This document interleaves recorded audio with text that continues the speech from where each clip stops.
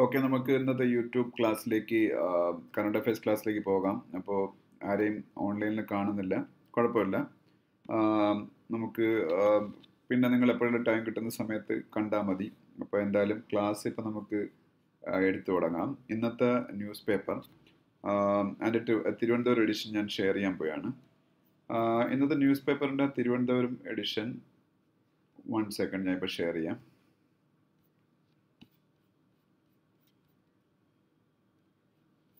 Okay ഇത് ഇന്നത്തെ Hindu news പേപ്പറിന്റെ ട്രിവാൻഡ്രം എഡിഷനാണ്. അപ്പം അതിലെ മെയിൻ ന്യൂസുകളിലേക്ക് നമ്മൾ പോവുകയാണ്. Abhishek good afternoon Abhishek. Good afternoon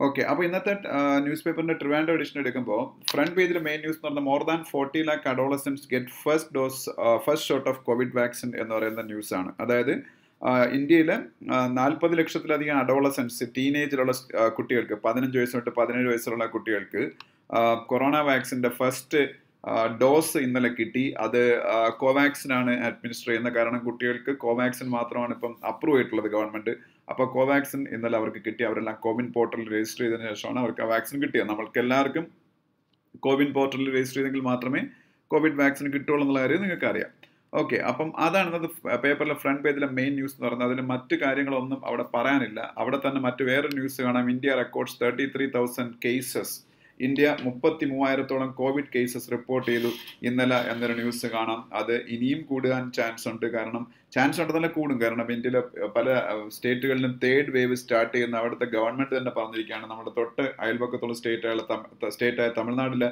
chief minister sorry health minister അവിടെ third wave of corona start ചെയ്തെന്ന് പറഞ്ഞിട്ടുണ്ട്. അപ്പം മിക്ക സ്റ്റേറ്റുകളിലും തേർഡ് വേവ് സ്റ്റാർട്ട് ചെയ്ത് കഴിഞ്ഞു. എന്നാലത് അത് അത്ര എന്താ പറയുന്ന പേടിക്കാനൊന്നുമില്ല. കാരണം ഡൽഹിയിലൊക്കെ നല്ല രീതിയിൽ കൊറോണ കേസസ് കൂടുന്നുണ്ടെങ്കിലും ഡൽഹിയിലൊക്കെ ഹോസ്പിറ്റലൈസേഷൻ വേണ്ട രോഗികളുടെ എണ്ണം തീരെ കുറവാണ് അല്ലെങ്കിൽ ഇല്ല എന്ന് പറയാവുന്ന ഒരു രീതിയിൽ ആണ് ഡൽഹിയിലേക്ക് ഹോസ്പിറ്റലൈസേഷൻ സോ ഹോസ്പിറ്റൽ ബെഡ്സ് ഒക്കെ ഇപ്പോഴും ശൂന്യമായിട്ട് കിടക്കുക കാര്യം ഹോസ്പിറ്റലൈസേഷൻ അങ്ങനെ ആവശ്യം വരാത്ത സാധാരണ വളരെ മൈൽഡ് ആയിട്ടുള്ള സിംറ്റംസ് ഉള്ള കൊറോണയാണ് മിക്കുള്ളവർക്കും ഇപ്പോൾ വന്നുകൊണ്ടിരിക്കുന്നത് അപ്പം അതാണ് ഇന്നത്തെ പത്രത്തിലെ ഫ്രണ്ട് പേജിലെ മെയിൻ ന്യൂസ് എന്ന് പറയുന്നത്.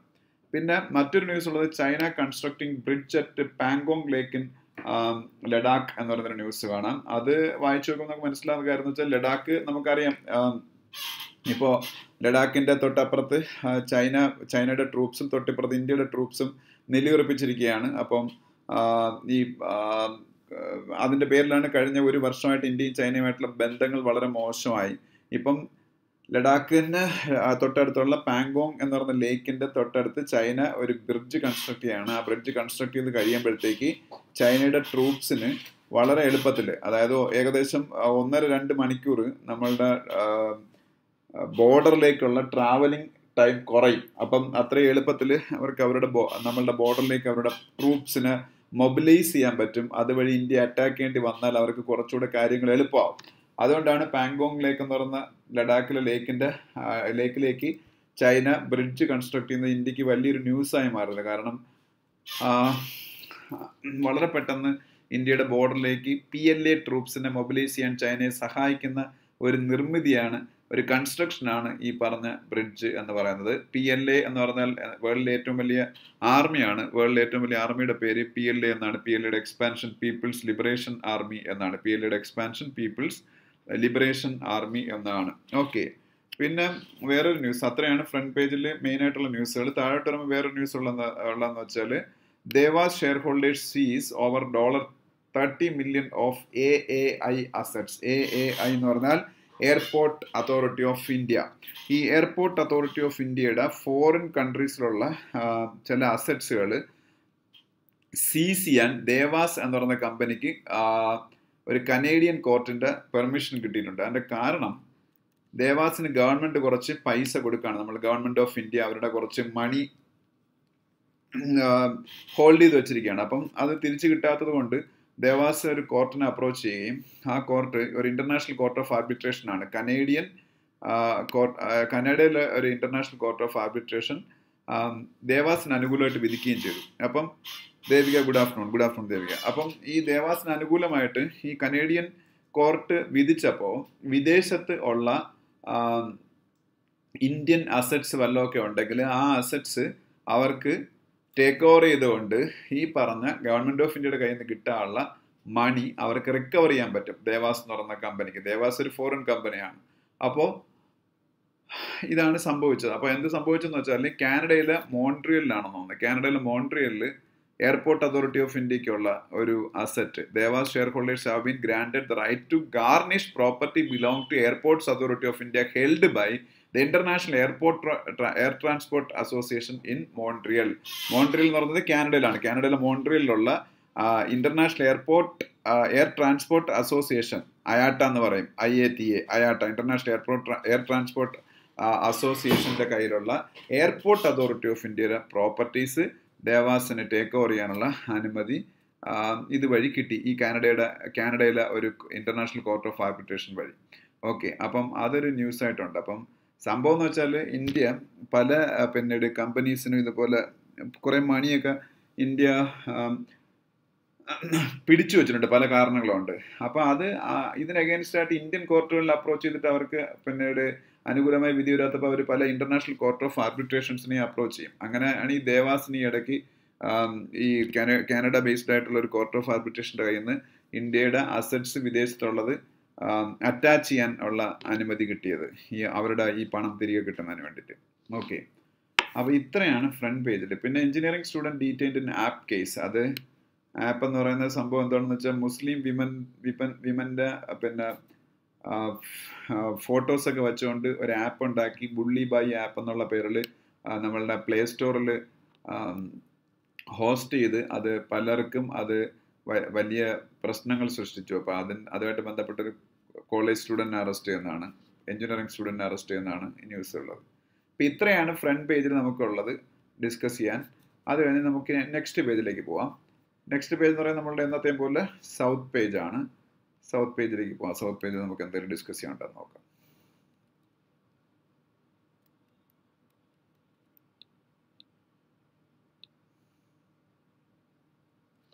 ഓക്കെ അപ്പോൾ ഇത് സൗത്ത് പേജ് ഫിഫ്ത്ത് പേജ് ആണ് സൗത്ത് പേജ്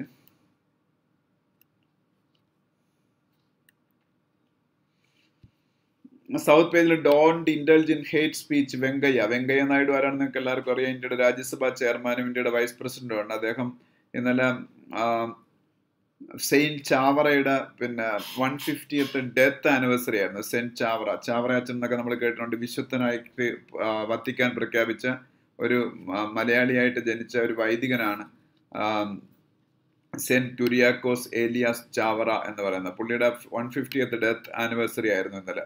അപ്പൊ അതിൽ പങ്കെടുത്തുകൊണ്ട് ഇന്ത്യയുടെ വൈസ് പ്രസിഡന്റ് വെങ്കയ്യ നായിഡു കുറെ കാര്യങ്ങൾ പറഞ്ഞിരുന്നു. അപ്പൊ അതിനെക്കുറിച്ചുള്ളൊരു ന്യൂസാണ് ആ ന്യൂസ് എന്ന് പറയുന്നത്. പിന്നെ പിന്നെ പിന്നെ ഇവിടെ കോൺഗ്രസ് റാലിയെ കുറിച്ചൊക്കെയാണ് ബാംഗ്ലൂരിൽ അത് നമുക്ക് വേണ്ട. N I arrest woman in terror case. ഇപ്പൊ ടെറർ കേസിലൊക്കെ കൂടുതലും അറസ്റ്റുകളൊക്കെ നടത്തുന്ന എൻ ഐ എ തന്നെയാണ് ഇന്ത്യയുടെ ടെറർ റിലേറ്റഡ് കേസസ് അന്വേഷിക്കുന്നതിന് വേണ്ടിയിട്ടുള്ള ഇന്ത്യയുടെ ഇൻവെസ്റ്റിഗേഷൻ ഏജൻസിയാണ് N I A national investigation agency എന്ന് പറയുന്നത്. മുംബൈ ടെറർ അറ്റാക്കിന് ശേഷമാണ് അങ്ങനെ ഒരു ഇൻവെസ്റ്റിഗേഷൻ ഏജൻസി ഇന്ത്യയിൽ ഫോം ചെയ്യുന്നത്. അതുവരെ സി ബി മാത്രമേ ഉള്ളായിരുന്നു. പിന്നെ sexually assaulted actor writes to Kerala C M അത് ദിലീപിന്റെ കേസിലെ ആക്ടറിന്റെ കുറിച്ചുള്ളൊരു ന്യൂസാണ് പിന്നെന്താണ്? Telangana B J P chief sent fourteen days judicial custody ഒന്നും വേണ്ട minister Congress M P nearly come to blow on stage okay ഇതിൽ ഇന്ന് സൗത്ത് പേജിൽ നമുക്കൊന്നും മറ്റുള്ള കാര്യങ്ങളൊന്നും ഡിസ്കസ് ചെയ്യാനൊന്നുമില്ല കേട്ടോ. സൗത്ത് പേജിൽ ഒരു കാര്യവുമില്ല. ഇങ്ങനെയുള്ള ചില കാര്യങ്ങൾ മാത്രമേ ഉള്ളൂ നമുക്ക് ആവശ്യമില്ലാത്ത കാര്യങ്ങൾ മാത്രമേ സൗത്ത് പേജിലുള്ളൂ അത് കഴിയുമ്പോൾ നമ്മൾ എഡിറ്റോറിയൽ പേജിലേക്ക് പോകുന്നു. എഡിറ്റോറിയൽ പേജിലേക്ക് പോകുമ്പോൾ എന്നത്തെയും പോലെ കൊറോണയെ ബേസ് ചെയ്ത ഒരു എഡിറ്റോറിയൽ ഇന്നും ഉണ്ട്. വൈഡനിങ് ദ സേഫ്റ്റി നെറ്റ് എന്ന് പറയുന്ന എഡിറ്റോറിയൽ ഓക്കെ അത് the need to test other vaccines as an additional dose in adults is overwhelming എന്ന് പറഞ്ഞ ഒരു ന്യൂസ് ആണ് അതായത് നമുക്കിപ്പോൾ ബൂസ്റ്റർ ഡോസ് കൊടുക്കാൻ പോയാണ്. നമ്മളുടെ അഡൽട്സ് ആയിട്ടുള്ള ആൾക്കാർക്ക് ജാനുവരി ടെൻത്ത് തൊട്ട് ജാനുവരി തേർഡ് തൊട്ട് ഇന്നലെ തൊട്ട് ടീനേജിലെ കുട്ടികൾക്ക് കൊടുത്തു തുടങ്ങി. ജാനുവരി ടെൻത്ത് തൊട്ട് അഡൽട്സിന് വാക്സിനേഷൻ കൊടുക്കാൻ പോയാണ്. എന്ത് വാക്സിനേഷൻ ബൂസ്റ്റർ ഡോസ് ഓക്കെ ആ ബൂസ്റ്റർ ഡോസ് കൊടുക്കുമ്പോൾ ഇപ്പം അവർ ഓൾറെഡി യൂസ് ചെയ്തിരുന്ന കോവാക്സിനും കോവിഷീൽഡുമാണ് ഇന്ത്യയിൽ വാക്സിനേഷന് പൊതുവെ ഉപയോഗിച്ചിരുന്ന അഡൾട്ട്സ് ഇത് രണ്ടും അല്ലാതെ മൂന്നാമതൊരു ഡോസ് പിന്നെ മൂന്നാമതൊരു വ്യത്യസ്തമായിട്ടുള്ളൊരു വാക്സിൻ കൊണ്ട് ബൂസ്റ്റർ ഡോസ് കൊടുത്താൽ അത് എങ്ങനെയായിരിക്കും അതിന്റെ ഗുണങ്ങൾ എന്നുള്ളത് കാര്യത്തിൽ നല്ലതാണെന്നാണ് വേൾഡ് വൈഡ് ആയിട്ട് പറയുന്നത്. പക്ഷേ ഇന്ത്യയിൽ അതിനെക്കുറിച്ചുള്ള ഒരു വലിയ സ്റ്റഡീസ് ഒന്നും നടന്നിട്ടില്ല. ആ ഒരു ടെസ്റ്റുകൾ നടത്തിക്കൊണ്ട് ഈ മിക്സിംഗ് ഓഫ് വാക്സിൻസ് നടത്താൻ വേണ്ടിയിട്ട് പിന്നീട് അതിനെക്കുറിച്ചുള്ള സ്റ്റഡീസ് കൂടുതലായിട്ട് നടത്തണമെന്ന് ആണ് ഈ എഡിറ്റോറിയലിന്റെ തുടക്കത്തിൽ പറഞ്ഞിരിക്കുന്നത്.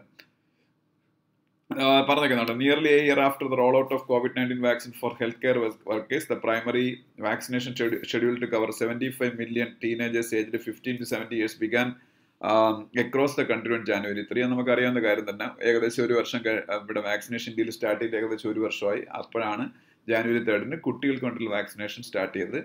ഏകദേശം പോയിന്റ് ഫോർ മില്യണോളം കുട്ടികൾ ഏകദേശം നാൽപ്പത് അമ്പത് ലക്ഷത്തോളം കുട്ടികൾ വാക്സിനേഷൻ ഇന്നലെ തന്നെ ഫസ്റ്റ് ഡോസ് എടുത്തു. പതിനെട്ട് വയസ്സിന് മുകളിലുള്ള അഡൾട്ട്സ് ഓൾറെഡി ഏകദേശം കവറായി അപ്പം കുട്ടികൾക്ക് പതിനഞ്ച് വയസ്സുള്ള കുട്ടികൾക്ക് വേണ്ടിയുള്ള വാക്സിനേഷൻ സ്റ്റാർട്ട് ചെയ്തിരിക്കുന്നു. പിന്നെ the decision to vaccinate teenagers which was announced by prime minister Narendra Modi on twenty five last year was based on an emergence of highly transmittive Omicron variant. It spread to many countries in about a month after it was designated as a variant of concern. Uh, the global can uh, the global case surge and the trend in many developed countries of vaccinating adolescents and children. അപ്പം ഇന്ത്യയിൽ ക്രിസ്മസിന്റെ അന്നാണ് മോഡി ഇന്ത്യയുടെ prime minister ഈ adolescent കുട്ടികളെ vaccination പതിനഞ്ച് വയസ്സിന് മുകളിലുള്ളവരോട് start ചെയ്യാൻ തീരുമാനിച്ചതിന്റെ കാരണം ഒമിക്രോൺ എന്ന് പറഞ്ഞൊരു വേരിയേഷൻ വന്നു അത് വളരെ വേഗതയിൽ മറ്റ് രാജ്യങ്ങളിലേക്ക് പടർന്നു പിടിച്ചുകൊണ്ടിരിക്കുന്നു. ആഫ്രിക്കയിലാണ് അത് ആദ്യമായിട്ട് ഉണ്ടായത്. ഒപ്പം തന്നെ പല ഡെവലപ്ഡ് കൺട്രീസിലും കുട്ടികൾക്ക് വേണ്ടിയിട്ടുള്ള വാക്സിനേഷൻ സ്റ്റാർട്ടും ചെയ്തു. അപ്പോൾ അതിന്റെ ചൂട് പിടിച്ചാണ് ഇന്ത്യയിലും ഈ വാക്സിനേഷൻ സ്റ്റാർട്ട് ചെയ്യാൻ തീരുമാനിച്ചിരുന്നത്. പക്ഷേ അവിടെ അവിടെയും വേറൊരു കാര്യം പറഞ്ഞിട്ടുണ്ട് while there is no clear consensus on whether healthy teenagers above fifteen should be vaccinated vaccinated particularly as severe disease and death in this age group are relatively low അതായത് infect virus covid virus infect ചെയ്താൽ പോലും പതിനഞ്ച് വയസ്സിൽ കുട്ടികളുടെ കൂടുതലുള്ള കുട്ടികളുടെ ഇടയിൽ അല്ലെങ്കിൽ പതിനഞ്ച് വയസ്സ് അതിൽ താഴെയുള്ള കുട്ടികളുടെ പതിനഞ്ച് വയസ്സിൽ കൂടുതലല്ല പതിനഞ്ച് വയസ്സിൽ താഴെ പിന്നെ ആ ഒരു ഏജ് ഗ്രൂപ്പിലേക്കുള്ള കുട്ടികൾക്ക് ഇതൊന്നും വലിയ സിവിയർ ആയിട്ട് അഫക്റ്റ് ചെയ്യുന്നില്ല എന്നാണ് നമ്മളുടെ ഇതുവരെയുള്ള എക്സ്പീരിയൻസ് അത്തരം ഒരു സാഹചര്യത്തിൽ ഈ കുട്ടികൾക്ക് വാക്സിനേഷൻ വേണമെന്നുള്ള കാര്യത്തിൽ സംശയങ്ങൾ ഉണ്ടായിരുന്നു. അതുപോലെ ചില സീറോ സർവേകൾ കാണിക്കുന്നത് ഇന്ത്യയിലെ മിക്ക കുട്ടികളും ഈ കൊറോണ വാക്സിന് ഇൻഫെക്റ്റഡ് ആയിട്ടുണ്ട് എന്നാണ്. പക്ഷേ അന്ന് അവരെ നല്ല രീതിയിൽ ബാധിച്ചിട്ടൊന്നുമില്ല. അതുകൊണ്ട് വാക്സിനേഷൻ കുട്ടികൾക്ക് കൊടുക്കണം എന്നുള്ള കാര്യത്തിൽ തന്നെ രണ്ട് അഭിപ്രായം ഇപ്പോഴും ഉണ്ട്. Unlike in the case of adults who were vaccinate with one of the two vaccines Covishield or Covaxin teenagers will be administered only Covaxin അതായത് നമ്മളെ പോലുള്ള അഡൾട്ട്സിന് നമുക്ക് കോവിഷീൽഡ് എന്നും കോവാക്സിൻ എന്നുള്ള രണ്ട് ഓപ്ഷൻസ് ഉണ്ടായിരുന്നു. ഒപ്പം സ്പുട്നിക് എന്ന് പറയുന്നത് വിദേശത്തു നിന്നുള്ള റഷ്യയുടെ ഒരു ഓപ്ഷൻ ഉണ്ടായിരുന്നു. പക്ഷേ ഈ കുട്ടികൾക്ക് കോവാക്സിൻ എന്ന ഒറ്റ ഓപ്ഷനേ ഉള്ളൂ. It was found to be safe in and safe and immunogenic in teenagers during a phase two bar three of the clinical trial അതിനെക്കുറിച്ചൊക്കെയാണ് പറഞ്ഞിരിക്കുന്നത് ക്ലിനിക്കൽ ട്രയലിൽ കുട്ടികളിൽ സേഫ് ആണെന്നാണ് ഇത് കണ്ടെത്തിയിരിക്കുന്നത്. അപ്പോൾ അതുകൊണ്ട് തന്നെ ഈ കോവാക്സിൻ കൊടുക്കുന്നതുകൊണ്ട് കുഴപ്പമില്ല. ഫസ്റ്റ് ഡോസ് എടുത്തു കഴിഞ്ഞവർ ഇരുപത്തെട്ട് ദിവസം കഴിയുമ്പോൾ സെക്കൻഡ് ഡോസും എടുക്കണം. അപ്പം ഇതൊക്കെ നമുക്ക് അറിയാവുന്ന കാര്യങ്ങൾ തന്നെയാണ്. അപ്പോൾ ഇനിയാണ് രണ്ടാമത്തെ പാരഗ്രാഫിലാണ് ഇതിൽ എൽഡേഴ്സിനെ കുറിച്ച് പറഞ്ഞിരിക്കുന്നത്. Besides providing teenagers with a primary vaccine health care and front line workers and those above sixty years with comorbidities will be provided with a precaution dose അപ്പോൾ അറുപത് വയസ്സിൽ കൂടുതലുള്ള കോമോർബിലിറ്റീസ് ഉള്ള ആൾക്കാർക്കും അതുപോലെ ഹെൽത്ത് കെയർ വർക്കേഴ്സിനും ഫ്രണ്ട് ലൈൻ വർക്കേഴ്സിനും ഒരു പ്രിക്കോഷൻ ഡോസ് കൊടുക്കാൻ ഗവൺമെന്റ് തീരുമാനിച്ചിരിക്കുകയാണ്. Providing Covaxin as the precaution dose to all the people who have received the same vaccine as part of the primary vaccination schedule scientifically called the homologous vaccine booster, will be the best approach, at least till there is evidence on using different vaccine as a booster shot. Okay വേറെ ഒന്നുമല്ല കോവാക്സിൻ എടുത്ത് എടുത്തിട്ടുള്ള ആൾക്കാർക്ക് കോവാക്സിൻ കൊണ്ട് തന്നെ booster dose കൊടുത്ത് അതിന് homologous vaccine booster എന്നാണ് പറയുന്നത്. ഈ സെയിം വാക്സിൻ ഉപയോഗിച്ച് തന്നെ ബൂസ്റ്റർ ഡോസ് കൊടുക്കുന്നതിന് ഹോമലോഗസ് വാക്സിൻ ബൂസ്റ്റർ എന്നാണ് പറയുന്നത്. അപ്പോൾ കോവാക്സിൻ എടുത്തവർക്ക് കോവാക്സിൻ കൊണ്ട് തന്നെ ബൂസ്റ്റർ ഡോസ് കൊടുക്കുക. കോവിഷീൽഡ് എടുത്തവർക്ക് കോവിഷീൽഡ് കൊണ്ട് തന്നെ ബൂസ്റ്റർ ഡോസ് കൊടുക്കുക. കാരണം ഇന്ത്യയിൽ ഇതുവരെയും സയന്റിഫിക് ആയിട്ട് എവിഡൻസ് നമ്മൾ കളക്ട് ചെയ്തിട്ടില്ല മിക്സിംഗ് ഓഫ് വാക്സിൻ അതായത് കോവിഷീൽഡ് എടുത്ത ആൾക്കാർക്ക് ബൂസ്റ്റർ ഡോസ് ആയിട്ട് കോവാക്സിൻ കൊടുക്കുന്നതിനെ കുറിച്ചോ കോവാക്സിൻ എടുത്തവർക്ക് ബൂസ്റ്റർ ഡോസ് ആയിട്ട് കോവിഷീൽഡ് എടുക്കുന്നതിനെ കുറിച്ചുള്ള ഒരു സയന്റിഫിക് എവിഡൻസ് നമ്മൾ കളക്ട് ചെയ്തിട്ടില്ലാത്തതുകൊണ്ട് ഇങ്ങനെ സെയിം തന്നെ ബൂസ്റ്റർ ഡോസ് ആയിട്ട് കൊടുക്കുന്നതാണ് നല്ലതെന്നാണ് പറഞ്ഞേക്കുന്നത്. അതോ Covaxin accounts for only eight ten percentage of all the doses administrative date മൊത്തത്തിൽ ഇതുവരെ കോടിക്കണക്കിന് നൂറ്റി അൻപത് കോടിയോളം വാക്സിൻ ഇന്ത്യയിൽ കൊടുത്തു. അതിൽ പത്ത് ശതമാനം ഏകദേശം പതിനഞ്ച് കോടി വാക്സിൻസ് മാത്രമാണ് നമ്മൾ കോവാക്സിൻ ഉപയോഗിച്ചിട്ടുള്ളത്. കാരണം കോവാക്സിന്റെ പ്രൊഡക്ഷൻ കുറവായിരുന്നു ഇന്ത്യയിൽ. The scientific bodies need to factor vaccine availability availability to കാരണം വാക് നമുക്ക് കോവിഷീൽഡിനൊപ്പം തന്നെ കോവാക്സിന് ഗവൺമെന്റ് ഓഫ് ഇന്ത്യ അപ്രൂവൽ കൊടുത്തെങ്കിലും പത്ത് ശതമാനം ആൾക്കാരെ മാത്രമേ കോവാക്സിൻ വച്ച് വാക്സിനേറ്റ് ചെയ്യാൻ പറ്റുള്ളൂ. അതിന്റെ കാരണം എന്ന് വെച്ചാൽ പെർമിഷൻ കിട്ടിയതിന് ശേഷവും അപ്രൂവൽ കിട്ടിയതിന് ശേഷവും അതിനാവശ്യമുള്ള വാക്സിൻസ് പ്രൊഡ്യൂസ് ചെയ്ത് തരാൻ ആർക്ക് കഴിഞ്ഞില്ല. കോവാക്സിൻ ഉണ്ടാക്കുന്ന ഭാരത് ബയോടെക് കമ്പനിക്ക് കഴിഞ്ഞില്ല. This becomes particular important as only Covaxin is used for vaccinating teenagers and its production is very limited in comparison to Covishield അപ്പോൾ അതുകൊണ്ട് വാക്സ് നമ്മളുടെ ഈ കുട്ടികളുടെ കേസിൽ ഈ പറഞ്ഞ കോവാക്സിൻ എന്ന് പറയുന്ന സംഭവം മാത്രമാണ് ഇപ്പം നമ്മൾ യൂസ് ചെയ്യുന്നത്. അതുകൊണ്ട് ഇതിന്റെ അൺഇന്ററപ്റ്റ് ആയിട്ടുള്ള പ്രൊഡക്ഷൻ എൻഷുർ ചെയ്യേണ്ടത് വളരെ പരമപ്രധാനമാണ്. കാര്യം കുട്ടികളുടെ വാക്സിനും ഒക്കെ വാക്സിനേഷനൊക്കെ കറക്റ്റായിട്ട് നടക്കണമെങ്കിൽ. The compulsion to test other vaccines that can be used in place of Covaxin as an additional dose in adolescents is therefore overwhelming ഇതുകൊണ്ടാണ് കോവാക്സിന്റെ പ്ലേസിൽ മറ്റൊരു വാക്സിൻ കൊണ്ട് ബൂസ്റ്റർ ഡോസ് കൊടുത്ത് മിക്സിംഗ് ഓഫ് വാക്സിൻസ് നടത്തിയാൽ എന്തെങ്കിലും പ്രശ്നമുണ്ടോ? എന്ന് നല്ല രീതിയിൽ പഠിക്കേണ്ടതിന്റെ ആവശ്യകത. കാരണം കോവാക്സിൻ പലപ്പോഴും ഷോർട്ടേജ് ഓഫ് സപ്ലൈ ഉണ്ട്. അത് വലിയ പ്രോബ്ലംസ് ചിലപ്പോൾ ക്രിയേറ്റ് ചെയ്യാൻ ചാൻസ് ഉണ്ട്. അതുകൊണ്ട് തന്നെ കോവാക്സിന്റെ പ്ലേസിൽ കോവാക്സിൻ എടുത്ത രോഗികൾക്ക് ഒരു ബൂസ്റ്റ് മിക്സ് മിക്സിംഗ് ഓഫ് ഡോ പിന്നെ പിന്നെ വാക്സിൻ വഴി ഇപ്പം വേണമെങ്കിൽ കോവിഷീൽഡോ അല്ലെങ്കിൽ ഇപ്പോഴത്തെ കോർബി വാക്സോ അങ്ങനത്തെ സംഭവങ്ങളുണ്ടല്ലോ. ഇപ്പം അങ്ങനെ നമ്മൾ ഇപ്പോൾ പുതുതായിട്ട് അപ്രൂവ് ചെയ്ത വാക്സിൻസോ ഏതെങ്കിലുമൊക്കെ ഉപയോഗിക്കാൻ പറ്റുമോ എന്നുള്ള രീതിയിലുള്ള പരീക്ഷണങ്ങൾ കൂടുതലായിട്ട് സയന്റിഫിക്കലി നടത്തണം. Approval of two additional vaccines which are manufactured use in different vaccine platforms will further lessen the reliance on Covaxin for primary vaccination of adults thus ensuring that the vaccination program for teenagers, teenagers does not suffer from shortages midway. അപ്പം നമ്മൾ മറ്റ് രണ്ട് additional വാക്സിൻസും ഇപ്പോൾ approve ചെയ്തിട്ടുണ്ട്. അതുകൊണ്ട് തന്നെ Covaxin production ഇപ്പം limited ആണെങ്കിൽ പോലും അത് കുട്ടികൾക്ക് വേണ്ടിയിട്ട് കൂടുതലായിട്ട് കോവാക്സിൻ നമുക്ക് ഉൽപ്പാദിപ്പിച്ചുകൊണ്ട് വലിയവരിൽ ഉള്ള വാക്സിനേഷന് വേണ്ടിയിട്ട് ഇപ്പോൾ പുതുതായിട്ട് അപ്രൂവൽ ചെയ്ത വാക്സിൻസും ഒക്കെ യൂസ് ചെയ്ത് ഈ അൺഇന്ററപ്റ്റഡ് ആയിട്ടുള്ള വാക്സിൻ സപ്ലൈ കോവാക്സിന്റെ കൂടെ നമുക്ക് ഉറപ്പുവരുത്താൻ പറ്റും എന്നാണ് ഈ എഡിറ്റോറിയൽ പറഞ്ഞ് അവസാനിപ്പിക്കുന്നത്. സിമ്പിൾ എഡിറ്റോറിയൽ അത് വായിച്ച ആർക്കും മനസ്സിലാവും. കാര്യം കോവിഡ് കൊറോണയായിട്ട് ബന്ധപ്പെട്ടേക്കാണ്ട് എല്ലാവർക്കും അറിയാവുന്ന കാര്യങ്ങൾ സെന്റൻസസ് വായിച്ച് മനസ്സിലാക്കിയാൽ മതി. പിന്നെ സേഫ്റ്റി അറ്റ് ഓൾ കോസ്റ്റ് എന്ന് പറയുന്ന ഒരു എഡിറ്റോറിയൽ ഗവൺമെന്റ് അതെന്തിനെ കുറിച്ചാണെന്ന് വെച്ചാൽ ഈ ഈ ഇടയ്ക്ക് തമിഴ്നാട്ടിൽ ഫയർ വർക്ക്സ് ആയിട്ട് ബന്ധപ്പെട്ട് ഒരുപാട് ഇൻഡസ്ട്രീസ് ഉണ്ട്. അതിൽ ഒരു ഇൻഡസ്ട്രിയിൽ നടന്ന തീപിടുത്തത്തിൽ കുറേ പേര് മരിച്ചു. അതായത് കുറേ പേര് മരിച്ച് നാല് പേരാണ് മരിച്ചത്. The death of four workers on new year's day in a blasted fire works unit in Kalathur village of Virudhunagar district the hub of fire cracker sector in Tamil Nadu reiterates the need for relentless vigil to enforce safety protocols in an industry that deals with hazardous processes. ഇപ്പൊ സംഭവം വിരുദനഗർ എന്ന് പറഞ്ഞ district എന്ന് പറഞ്ഞാൽ fire ക്രാക്കേഴ്സിന്റെ കേന്ദ്രമാണ് fire crackers ഉണ്ടാക്കുന്ന ഇൻഡസ്ട്രീസിന്റെ കേന്ദ്രമാണ് അവിടെ നടന്ന നാല് പേരുടെ മരണം ഈ ന്യൂ ഇയർ ഡേയിൽ നടന്ന മരണം എന്ന് പറയുന്നത് ഫയർ ക്രാക്കേഴ്സ് ഉണ്ടാക്കുന്ന ഇൻഡസ്ട്രിയിൽ നമ്മൾ ഫോളോ ചെയ്യേണ്ട സേഫ്റ്റി പ്രോട്ടോകോൾസിനെ കുറിച്ച് കൂടുതൽ ഊട്ടി ഉറപ്പിക്കുന്ന ഒരു സംഭവമായി. The blast was said to have the triggered by friction caused by mishandling of chemicals chemicals mishandle ചെയ്ത മൂലമുണ്ടായ ഫ്രിക്ഷൻ മൂലമാണ് ഈ ബ്ലാസ്റ്റ് ഉണ്ടായത്.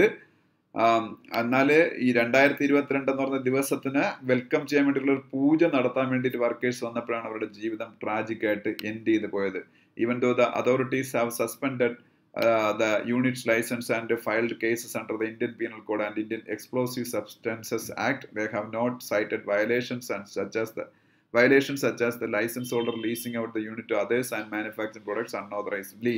അപ്പോൾ എന്തായാലും ഈ പറഞ്ഞ യൂണിറ്റ് നടത്തുന്ന ആൾക്കാരുടെ ലൈസൻസ് ഇതോടുകൂടി കട്ട് ചെയ്തു അവർക്ക് എഗൈൻസ്റ്റ് ആയിട്ട് Indian Penal Code I P C ഉപയോഗിച്ച് ഇന്ത്യൻ എക്സ്പ്ലോസീവ് സബ്സ്റ്റൻസസ് ആക്ട് ഉപയോഗിച്ചൊക്കെ കേസൊക്കെ ഫയൽ ചെയ്തെങ്കിലും ഈ ലൈസൻസ് ഹോൾഡർ ആയിട്ടുള്ള ആൾ അയാളുടെ ലൈസൻസ് മറ്റുള്ള ആൾക്കാർക്ക് കൊടുത്തു ഇത് മാനുഫാക്ചർ ചെയ്യാൻ വേണ്ടിയിട്ട് ഉള്ള അതൊന്നും പക്ഷേ ഈ കേസസ് കേസിൽ കൺസിഡർ ചെയ്തിട്ടില്ല എന്നാണ് പറഞ്ഞേക്കുന്നത് I P C Indian Penal Code ഉപയോഗിച്ചും ഇന്ത്യൻ എക്സ്പ്ലോസീവ് സബ്സ്റ്റൻസ് ആക്ട് ഉപയോഗിച്ചുമൊക്കെ അവർക്കെതിരെ കേസെടുത്തു Over the years, the district has been numerous blasts and successive state governments had formed at times committees to study the factors that led to blast. ഇതുപോലുള്ള ഒരുപാട് ബ്ലാസ്റ്റുകൾ ആ ഈ വിരുദനഗർ ഡിസ്ട്രിക്റ്റിനെ കേന്ദ്രീകരിച്ച് പലപ്പോഴും ഉണ്ടായിട്ടുണ്ടെങ്കിലും കുറച്ച് കമ്മിറ്റീസ് ഫോം ചെയ്തിട്ടുണ്ട് ഇതിനെക്കുറിച്ച് പഠിക്കാൻ. പക്ഷേ ഈ കമ്മിറ്റീസിലെ റെക്കമെൻഡേഷൻസ് ഒന്നും പലപ്പോഴും ആരും ഫോളോ ചെയ്യുന്നില്ല. There have been improvements in the way of fire cracker industry has been functioning improvement ഉണ്ട്. ഫയർ ക്രാക്കർ ഇൻഡസ്ട്രീസിന്റെ ഫംഗ്ഷനിങ്ങിൽ for example the extent of child labour has reduced considerably child labour കുട്ടികളെ കൊണ്ട് ബാലവേല ചെയ്യിക്കുന്നതൊക്കെ fire cracker ഇൻഡസ്ട്രിയിൽ കുറയ്ക്കാൻ സഹായിച്ചിട്ടുണ്ട്. അതുപോലുള്ള ചില ഇമ്പ്രൂവ്മെന്റ്സ് ഉണ്ടായിട്ടുണ്ട്. മറ്റേ പക്ഷേ സേഫ്റ്റി പ്രോട്ടോകോൾസിന്റെ അഡ്ഹറൻസുമായിട്ട് കമ്പയർ ചെയ്യുമ്പോൾ അത് വലിയ ചേഞ്ചസ് ഉണ്ടാക്കിയിട്ടില്ല. But with regard to adherence to and monitoring of safety protocols track record leaves much to be desired എന്നാണ്.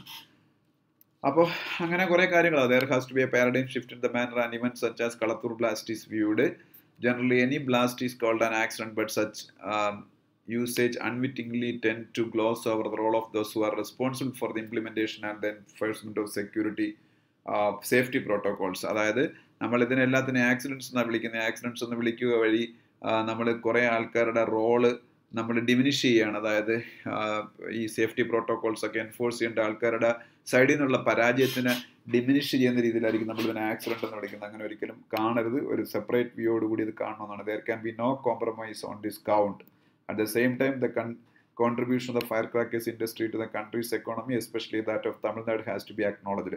നമുക്ക് ഇവരെ വളരെ സ്ട്രിക്റ്റ് ആയിട്ട് ഈ സേഫ്റ്റി പ്രോട്ടോകോൾസ് എൻഷുർ ചെയ്യുക എന്നല്ലാതെ ഈ ഫയർ ക്രാക്കർ ഇൻഡസ്ട്രിയെ നമുക്ക് ഇല്ലാതാക്കാൻ ശ്രമിക്കാൻ പറ്റത്തില്ല കാരണം ഇന്ത്യയുടെ എക്കണോമിയിലേക്കും തമിഴ്നാടിന്റെ എക്കോണമിയിലേക്കും ഈ പറഞ്ഞ ഫയർ ക്രാക്കർ ഇൻഡസ്ട്രിയുടെ കോൺട്രിബ്യൂഷൻ വളരെ വലുതാണെന്ന് മാത്രമല്ല ലക്ഷക്കണക്കിന് ആൾക്കാർ എട്ട് ലക്ഷത്തോളം ആൾക്കാർ ഡയറക്റ്റ് ആയിട്ടും ഇൻഡയറക്റ്റ് ആയിട്ടും ഈ ഫയർ ക്രാക്കർ ഇൻഡസ്ട്രിയിൽ ജോലി ചെയ്യുന്നുണ്ട് അതുകൊണ്ട് തന്നെ നമുക്ക് അവർക്ക് പ്രത്യേകിച്ച് അവിടെ ഇറിഗേഷൻ ഒന്നും വലുതായിട്ടില്ലാത്ത സ്ഥലങ്ങളാണ് ഈ പറഞ്ഞ ഫയർ ക്രാക്കർ ഇൻഡസ്ട്രി നിൽക്കുന്ന സ്ഥലങ്ങൾ. അവിടെ അഗ്രികൾച്ചർ ജോബിലൊക്കെ എൻഗേജ് ചെയ്യാൻ അവിടുത്തെ സാധാരണക്കാരന് കഴിയാത്തൊരു സിറ്റുവേഷനാണ് അപ്പോൾ ഈ ഫയർ ക്രാക്കർ ഇൻഡസ്ട്രി വഴി എട്ട് ലക്ഷത്തോളം ആൾക്കാർക്ക് ഡയറക്റ്റ് ആൻഡ് ഇൻഡയറക്റ്റ് ആയിട്ട് ജോലി കിട്ടുന്നുണ്ട്. അപ്പോൾ അതുകൊണ്ട് തന്നെ അവിടെ നമുക്ക് അവരെ പ്രൊട്ടക്ട് ചെയ്യുമ്പോൾ അവരുടെ ജോബ് പ്രൊട്ടക്ട് ചെയ്യണം. At the same time we have to ensure the safety protocols for the safer running of these industries അപ്പം അങ്ങനെയൊക്കെയാണ് എന്ന് കരുതി however this does not absolve the industry of the responsibility to the life and health of workers and the larger sections of the society അവിടുത്തെ ജോലിക്കാരുടെ അത് അവരുടെ life health അതുപോലെ നമ്മളുടെ സൊസൈറ്റിയുടെ ഹെൽത്ത് ഇതെല്ലാം നോക്കിക്കൊണ്ട് വേണം പക്ഷേ ഈ എട്ട് ലക്ഷം പേർക്ക് തൊഴിൽ കൊടുക്കുന്ന ഈ മേഖലയെ സംരക്ഷിച്ച് മുന്നോട്ട് കൊണ്ടുപോകാൻ. അപ്പം പിന്നെ നാഷണൽ ഗ്രീൻ ട്രൈബ്യൂണൽ രണ്ടായിരത്തി ഇരുപത്തി ഒന്നിൽ ഇരുപത് പേര് മരിച്ച ഒരു ബ്ലാസ്റ്റ് ഉണ്ടായപ്പോഴത്തേക്ക് കുറേ സജഷൻസ് കൊടുത്തിരുന്നു. അപ്പം ആ ആ നാഷണൽ ഗ്രീൻ ട്രൈബ്യൂണലിന്റെ ആ കമ്മിറ്റിയിൽ പഞ്ചാബിലെയും മദ്രാസിലെ ഹൈക്കോർട്ടിലെ ജഡ്ജി ആയിട്ടിരുന്ന കണ്ണൻ അങ്ങനെയുള്ള ചില ആൾക്കാരൊക്കെയാണ് ഉണ്ടായിരുന്നത്. അവർ കൊടുത്ത കുറച്ച് സജഷൻസ് ഉണ്ടായിരുന്നു.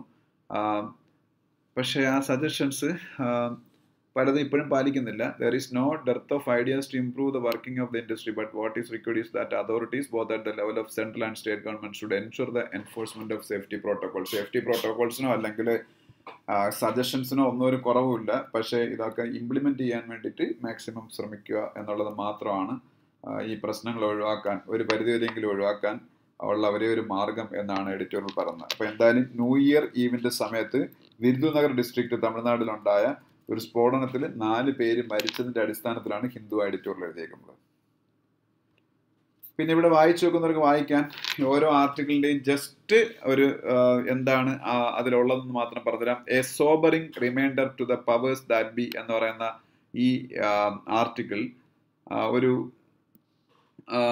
താഹിർ മഹമ്മൂദ് എന്ന് പറയുന്ന ആൾ എഴുതിയിരിക്കുന്നതാണ് ഇത് എന്തിനെ കുറിച്ചാണെന്ന് വെച്ചാൽ ഇതിൽ മെയിനായിട്ട് മെൻഷൻ ചെയ്യുന്നത് ബി ജെ പി എന്ന് പറയുന്ന സെൻട്രൽ ഗവൺമെന്റ് ഇപ്പം ഭരിക്കുന്ന പാർട്ടി. പക്ഷേ ആ പാർട്ടിയുടെ പേരൊന്നും ഇതിലെങ്ങും പറയുന്നില്ല. പക്ഷെ വായിക്കാൻ നമുക്ക് മനസ്സിലാവും. അവരുടെ പഴയ ടോളസ്റ്റ് ലീഡറായിരുന്ന വാജ്പേയി അതുപോലെ ഇപ്പോഴത്തെ ടോളസ്റ്റ് ലീഡറായ നരേന്ദ്രമോദി ഇവരുടെ രണ്ടുപേരുടെയും ഗവേണൻസ് സ്റ്റൈലിലുള്ള ഡിഫറൻസസ് ഇതിന്റെ ആദ്യത്തെയും അവസാനത്തെയും പാരഗ്രാഫുകളിൽ അവർ പറയുന്നുണ്ട്. അതായത് വാജ്പേയി ഇവിടുത്തെ മൈനോറിറ്റീസിന്റെ എസ്പെഷ്യലി മുസ്ലിംസിന്റെ പ്രൊട്ടക്ഷൻ എൻഷുർ ചെയ്യേണ്ടതിന്റെ ആവശ്യകതയെക്കുറിച്ച് വളരെ വാചാലമായിട്ട് പലപ്പോഴും സംസാരിച്ചിരുന്നു. അതിനു വേണ്ടിയിട്ട് അദ്ദേഹം ശ്രമിച്ചിരുന്നു. ഇന്ത്യ ഒരു സെക്യുലർ രാജ്യമാണ്. സെക്യുലറിസ്റ്റ് വാല്യൂസ് അപ്ഹോൾഡ് ചെയ്യാനും വാജ്പേയി ശ്രമിച്ചിരുന്നു. പക്ഷേ ഇന്നത്തെ കാലഘട്ടത്തിൽ ഇന്നത്തെ പ്രസന്റ് ക്ലൈമറ്റിൽ ഇവിടെ ഒരുപാട് എന്താ പറയുന്ന റിലീജിയസ് കോൺഗ്രഗേഷൻസിലൊക്കെ ഹെയ്റ്റ് സ്പീച്ച് ഒക്കെ ഉണ്ടാകുന്നു. ആ ഹെയ്റ്റ് സ്പീച്ചുകളെ ഡീൽ ചെയ്യാൻ വേണ്ടിയിട്ട് നമുക്ക് നിയമങ്ങളുണ്ട് ഇന്ത്യൻ പീനൽ കോഡുണ്ട് എല്ലാം ഉണ്ടായിരുന്നിട്ടും പലപ്പോഴും അത്തരത്തിൽ അവർക്ക് അഗെയിൻസ്റ്റ് ആയിട്ട് സ്ട്രോങ് ആയിട്ടുള്ള ആക്ഷൻസ് എടുക്കാത്തത് എന്തുകൊണ്ട് എന്നാണ് ഒരു സൈഡിൽ ചോദിച്ചേക്കുന്നത്. വേറൊരു സൈഡിൽ അപ്പം വാജ്പേയിയുടെയും മോഡിയുടെയും ഒരു ചെറിയ കമ്പാരിസൺ വരുന്നതോടൊപ്പം തന്നെ അതിന്റെ ഇടയ്ക്കുള്ള സ്ഥലത്ത് പ്രൈം മിനിസ്റ്റർ ജവഹർലാൽ നെഹ്റു ആയിരുന്നപ്പം അദ്ദേഹത്തിന്റെ ഇന്ത്യ എന്ന് പറയുന്ന ഒരു രാജ്യം എങ്ങനെയായിരിക്കണം എന്നുള്ള ആശയം എന്തായിരുന്നു? അദ്ദേഹത്തിന് ഗൈഡ് ചെയ്തിരുന്ന മഹാത്മാഗാന്ധിയുടെ സെക്യുലറിസ്റ്റിക് വാല്യൂസ് എന്തായിരുന്നു? അതായത് നെഹ്റുവിനെ ഗൈഡ് ചെയ്തിരുന്ന മഹാത്മാഗാന്ധിയുടെ സെക്യുലറിസ്റ്റിക് ആയിട്ടുള്ള വാല്യൂസ് അപ്പം ഈ കാര്യങ്ങളെ കുറിച്ചൊക്കെ അവിടെ പറയുന്നുണ്ട്. ഒപ്പം തന്നെ യുണൈറ്റഡ് നേഷൻസ് എന്ന് പറയുന്ന സംഭവം അവിടെ പരാമർശ വിഷയമായിട്ടുണ്ട്. യുണൈറ്റഡ് നേഷൻസ് നാഷണൽ അവിടെ യുണൈറ്റഡ് നേഷൻസിന്റെ ഹ്യൂമൻ റൈറ്റ്സ് കമ്മീഷനും കുറച്ചു കാലം കഴിഞ്ഞപ്പോൾ ഫോം ചെയ്തിരുന്നു. ഈ യുണൈറ്റഡ് നേഷൻസും യുണൈറ്റഡ് നേഷൻസിന്റെ ഹ്യൂമൻ റൈറ്റ്സ് കമ്മീഷനും ഒക്കെ ഈ വേൾഡിലുള്ള മുഴുവൻ ആൾക്കാരെയും irrespective of religion caste race ഇതെല്ലാം കൺസിഡർ ചെയ്യാതെ ഒരേ രീതിയിലുള്ള ആൾക്കാരായിട്ട് കാണേണ്ടത് കാണേണ്ടതിന്റെ ആവശ്യകതയെക്കുറിച്ചും ഇമ്പോർട്ടൻസിനെ കുറിച്ചും അതുപോലെ ഈക്വൽ ആയിട്ടുള്ള ട്രീറ്റ്മെന്റ് എല്ലാവർക്കും കൊടുക്കേണ്ടതിന്റെ ഇമ്പോർട്ടൻസിനെ കുറിച്ചുമൊക്കെ പറഞ്ഞ് പഠിപ്പിച്ചിരുന്നു. പക്ഷേ ഇതൊന്നും തന്നെ ഇന്ത്യയുടെ പ്രസന്റ് സിറ്റുവേഷനിലും മാനിക്കപ്പെടുന്നില്ലെന്നും മൈനോറിറ്റീസിന് എസ്പെഷ്യലി മുസ്ലിംസിന് അഗേൻസ്റ്റ് ആയിട്ട് ഹേറ്റ് സ്പീച്ച് നടത്തി കൊലവിളി നടത്തുന്നവർക്ക് അഗേൻസ്റ്റ് ആയിട്ട് സ്ട്രോങ് ആയിട്ടുള്ള ആക്ഷൻസ് എടുക്കുന്നില്ലെന്നും ഇന്ത്യൻ പീനൽ കോഡിൽ നിന്നും പ്രൊവിഷൻസ് ഉപയോഗിച്ച് അവർക്കെതിരെ കേസുകൾ ഫയൽ ചെയ്യുന്നില്ലെന്നും ഒക്കെ ഉള്ള വളരെ സ്ട്രോങ് ആയിട്ടുള്ള ചില അലിഗേഷൻസ് ആണ് അലിഗേഷൻസും ഫാക്ട്സും ഒക്കെ ഉണ്ട് ആണ് ഈ ഒരു ആർട്ടിക്കിളിൽ പറഞ്ഞിരിക്കുന്നത്. ഈ ആർട്ടിക്കിൾ നിങ്ങൾക്ക് വായിക്കുമ്പോൾ ഞാൻ ഈ പറഞ്ഞ കാര്യങ്ങളെല്ലാം ഇവിടെ ഉണ്ട്. അത് കുറച്ചുകൂടി എക്സ്പാൻഡ് ചെയ്ത് തന്നിട്ടുണ്ടെന്നേ ഉള്ളൂ. ഓക്കെ അതിൽ പൊളിറ്റിക്കൽ ലീഡേഴ്സ് ആയിട്ട് അവരുടെ ആശയങ്ങളെ കുറിച്ച് കമ്പയർ ചെയ്തിരിക്കുന്ന വാജ്പേയിയുടെയും മോഡിയുടെയും നെഹ്റു അതുപോലെ മഹാത്മാഗാന്ധി അവരുടെയൊക്കെ ആശയങ്ങൾ നമ്മളുടെ കോൺസ്റ്റിറ്റ്യൂഷണൽ ഐഡിയൽസിനെ കുറിച്ച് പറഞ്ഞിട്ടുണ്ട്. കോൺസ്റ്റിറ്റ്യൂഷനിൽ നമ്മൾ ഫണ്ടമെന്റൽ റൈറ്റ്സ് ഉണ്ട് ഫണ്ടമെന്റൽ ഡ്യൂട്ടീസ് ഉണ്ട്. ഫണ്ടമെന്റൽ റൈറ്റ്സിലും ഫണ്ടമെന്റൽ ഡ്യൂട്ടീസിലും നമ്മളുടെ എല്ലാ എല്ലാ എല്ലാവർക്കും പിന്നീട് തുല്യത എൻഷുർ ചെയ്യുന്നുണ്ട്. റിലീജിയസ് ആയിട്ട് എല്ലാവർക്കും അവരവരുടെ വിശ്വാസങ്ങൾ പുലർത്തുന്നതിനുള്ള ഫ്രീഡം എൻഷുർ ചെയ്തു തരുന്നുണ്ട് അതുപോലെ ഫണ്ടമെന്റൽ ഡ്യൂട്ടീസിന്റെ പോർഷനിലേക്ക് വരുമ്പോൾ നമ്മൾ നമ്മളുടെ ഐഡിയൽസിനോട് നമ്മളുടെ ഫ്രീഡം സ്ട്രഗിളിനെയും ഒക്കെ മുന്നോട്ട് നയിച്ച ഐഡിയൽസിനോട് അങ്ങേയറ്റം കമ്മിറ്റ്മെന്റ് ഉള്ളവരായിരിക്കും എന്നുള്ള ഒരു ഫണ്ടമെന്റൽ ഡ്യൂട്ടി ഉണ്ട് അപ്പൊ സ്വാഭാവികമായിട്ടും സെക്യുലറിസത്തിനോട് നമ്മൾ ഒരു അങ്ങേയറ്റം ഡ്യൂട്ടിഫുൾ ആയിരിക്കും അങ്ങേയറ്റം റെസ്പെക്ട്ഫുൾ ആയിരിക്കും എന്നുള്ള ഒരു ഡ്യൂട്ടി നമ്മളുടെ ഫണ്ടമെന്റൽ ഡ്യൂട്ടീസിന്റെ ഭാഗമായിട്ടുണ്ട് എന്നെല്ലാം ഇതിൽ റിമൈൻഡ് ചെയ്യുന്നുണ്ട്. ഈ കാര്യങ്ങൾ തന്നെയാണ് പറഞ്ഞത്. ഒരുപാട് കാര്യം പറഞ്ഞു. ഈ കാര്യങ്ങളെല്ലാം എക്സ്പാൻഡ് ചെയ്തോടെ തന്നേക്കാണ്. ഓക്കെ രണ്ടാമത്തത് India's rights record America's blink blinkered vision ഇതാണ് രണ്ടാമത്തെ ആർട്ടിക്കിൾ എന്ന് പറയുന്നത്. അത് ഇതിൽ ആക്ച്വലി ഇത് ഇന്ത്യയുടെ ഒരു ഫോറിൻ സെക്രട്ടറി പഴയ ഒരു ഫോറിൻ സെക്രട്ടറി കൃഷ്ണൻ ശ്രീനിവാസൻ എന്ന് പറയുന്ന ഒരു ഫോറിൻ സെക്രട്ടറിയാണ് എഴുതിയേക്കുന്നത്. അപ്പോൾ ഇതിൽ ഇന്ത്യ എന്ന് പറയുന്ന ഡെമോക്രാറ്റിക് ആയിട്ടുള്ള കൺട്രിയിൽ ഒരുപാട് റൈറ്റ് വയലേഷൻസ് നടക്കുന്നുണ്ട്. അത് ഹ്യൂമൻ റൈറ്റ് വയലേഷൻസ് നടക്കുന്നുണ്ട്. മൈനോറിറ്റീസിന് അഗേൻസ്റ്റ് ആയിട്ട് എസ്പെഷ്യലി മുസ്ലിംസിനും ക്രിസ്ത്യൻസിനും ഒക്കെ അഗേൻസ്റ്റ് ആയിട്ടുള്ള റൈറ്റ് വയലേഷൻസ് നടക്കുന്നുണ്ട്. ഇതെല്ലാം നടക്കുന്നുണ്ടെങ്കിലും യു എസിന്റെ പ്രസിഡൻഷ്യൽ പ്രസിഡന്റ് ആയിരുന്ന ഡൊണാൾഡ് ട്രംപിനോട് നരേന്ദ്രമോദി വലിയ അഫിനിറ്റി പുലർത്തുകയും മോഡി ട്രംപിന് വേണ്ടിയിട്ട് ഇലക്ഷൻ ക്യാമ്പയിനിങ് വരെ നടത്തുകയും ചെയ്തു. അതിനുശേഷം പക്ഷേ അവിടെ അധികാരത്തിൽ അൺഎക്സ്പെക്റ്റഡ് ആയിട്ടാണെങ്കിൽ പോലും വന്നത് ജോയ് ബൈഡൻ ആണ്. ജോയ് ബൈഡൻ വന്നപ്പോൾ ട്രംപിന് വേണ്ടിയിട്ട് ഇലക്ഷൻ ക്യാമ്പയിനിങ് വരെ നടത്തിയ മോ പിന്നെ മോഡിയോട് യാതൊരു ദേഷ്യമോ വിരോധമോ പുലർത്താതെ ട്രംപിനെക്കാരും വളരെ അടുപ്പത്തോടു കൂടി ജോയ് ബൈഡൻ ഇന്ത്യയോട് അല്ലെങ്കിൽ നരേന്ദ്രമോദി എന്ന് പറയുന്ന പ്രൈം മിനിസ്റ്ററിനോട് ഒരു പേഴ്സണൽ കെമിസ്ട്രി കാണിക്കുകയാണ്. അതുകൊണ്ട് തന്നെ ക്വാഡൊക്കെ കൂടുതൽ ഇപ്പോൾ സ്ട്രോങ് ആയി. അപ്പം അപ്പം ഇന്ത്യയിൽ നടക്കുന്ന പല പ്രശ്നങ്ങളിലും അതുകൊണ്ട് തന്നെ ഇന്ത്യ ഏറ്റവും വലിയ സ്ട്രാറ്റജിക് അലൈ ആയിട്ടാണ് അവർ ഏഷ്യയിലെ ഏറ്റവും വലിയ സ്ട്രാറ്റജിക് അലൈ ആയിട്ടാണ് അമേരിക്കൻ ഗവൺമെന്റ് കാണുന്നത്. അതുകൊണ്ട് തന്നെ ഇന്ത്യയിലെ പല പ്രശ്നങ്ങൾക്ക് നേരെ അവർ കണ്ണടച്ച് പിടിക്കുന്നു എന്നാണ് ഈ അലി ഈ ഒരു ആർട്ടിക്കിളിൽ പറയുന്നത്. ഇന്ത്യയിലെ ഹ്യൂമൻ റൈറ്റ്സ് വയലേഷന് അഗേൻസ്റ്റ് ആയിട്ടുള്ളത് അല്ലെങ്കിൽ ഇന്ത്യയിലെ മൈനോറിറ്റീസിന്റെ റൈറ്റ്സിന് അഗേൻസ്റ്റ് ആയിട്ടുള്ള അറ്റാക്സിന് ഇതിനെ ഒന്നിനും തന്നെ അമേരിക്ക സ്ട്രോങ് ആയിട്ട് ക്രിട്ടിസൈസ് ചെയ്യുന്നില്ല എന്ന് ഇതിൽ പറഞ്ഞിരിക്കുന്നു. അതുപോലെ ഇപ്പം നിങ്ങൾ ഇത് നോക്കിയാണെങ്കിൽ ഇതിൽ കുറേ കാര്യങ്ങൾ പറയുന്നുണ്ട്. വേൾഡ് പ്രസ് ഫ്രീഡം ഇൻഡെക്സിൽ ഇന്ത്യയുടെ റാങ്ക് വേൾഡ് പ്രസ് ഫ്രീഡം ഇൻഡെക്സിൽ ഇന്ത്യയുടെ റാങ്ക് വൺ ഫോർട്ടി ടു ആണ്. വേൾഡ് പ്രസ് ഫ്രീഡം ഇൻഡെക്സ് ഉണ്ടാക്കുന്ന റിപ്പോർട്ടേഴ്സ് വിത്തൗട്ട് ബോർഡേഴ്സ് എന്ന് പറയുന്ന സംഘടനയാണ്. റിപ്പോർട്ടേഴ്സ് വിത്തൗട്ട് ബോർഡേഴ്സ് എന്ന് പറയുന്ന സംഘടന ഉണ്ടാക്കുന്ന വേൾഡ് പ്രസ് ഫ്രീഡം ഇൻഡെക്സ് ഇന്ത്യയുടെ റാങ്ക് വൺ ഫോർട്ടി ടു എന്ന് പറയുമ്പോൾ ഇന്ത്യയിലെ പ്രസ് ഫ്രീഡം ഇല്ലെന്നാണ്. അപ്പം ജേർണലിസ്റ്റുകളെ ഇന്ത്യ ടാർഗറ്റ് ചെയ്യുന്നു. അതുപോലെ എൻ ജി ഒസിന് ഇന്ത്യ ടാർഗറ്റ് ചെയ്യുന്നു. നോൺ ഗവൺമെന്റൽ ഓർഗനൈസേഷൻസിന് ഒക്കെ നരേന്ദ്രമോദിയുടെ ഗവൺമെന്റ് ടാർഗറ്റ് ചെയ്യുന്നു. അപ്പം ഇങ്ങനെയൊക്കെ ആണെങ്കിലും യു എസ് ഇന്ത്യയെ വളരെ ഇമ്പോർട്ടന്റ് ആയിട്ടുള്ള അലയൻസ് പാർട്ട്ണറായിട്ട് കാണുന്നത് കൊണ്ട് തന്നെ ഇത്തരം സ്ഥിതി വിശേഷങ്ങളിൽ ഇന്ത്യയ്ക്ക് കണ്ണടക്കിയാണെന്നാണ് പറഞ്ഞേക്കുന്നത്. അതുപോലെ എസ് ഫോർ ഹൺഡ്രഡ് എന്ന് പറഞ്ഞ എയർ ഡിഫൻസ് സിസ്റ്റം നമ്മൾ റഷ്യയുടെ നിന്ന് വാങ്ങാൻ തീരുമാനിച്ചു. അങ്ങനെ റഷ്യയുടെ നിന്ന് വാങ്ങാൻ തീരുമാനിച്ചാൽ ഇന്ത്യയ്ക്ക് അഗേൻസ്റ്റ് ആയിട്ട് എക്കണോമിക് സാങ്ഷൻസ് വരേണ്ടതാണ്.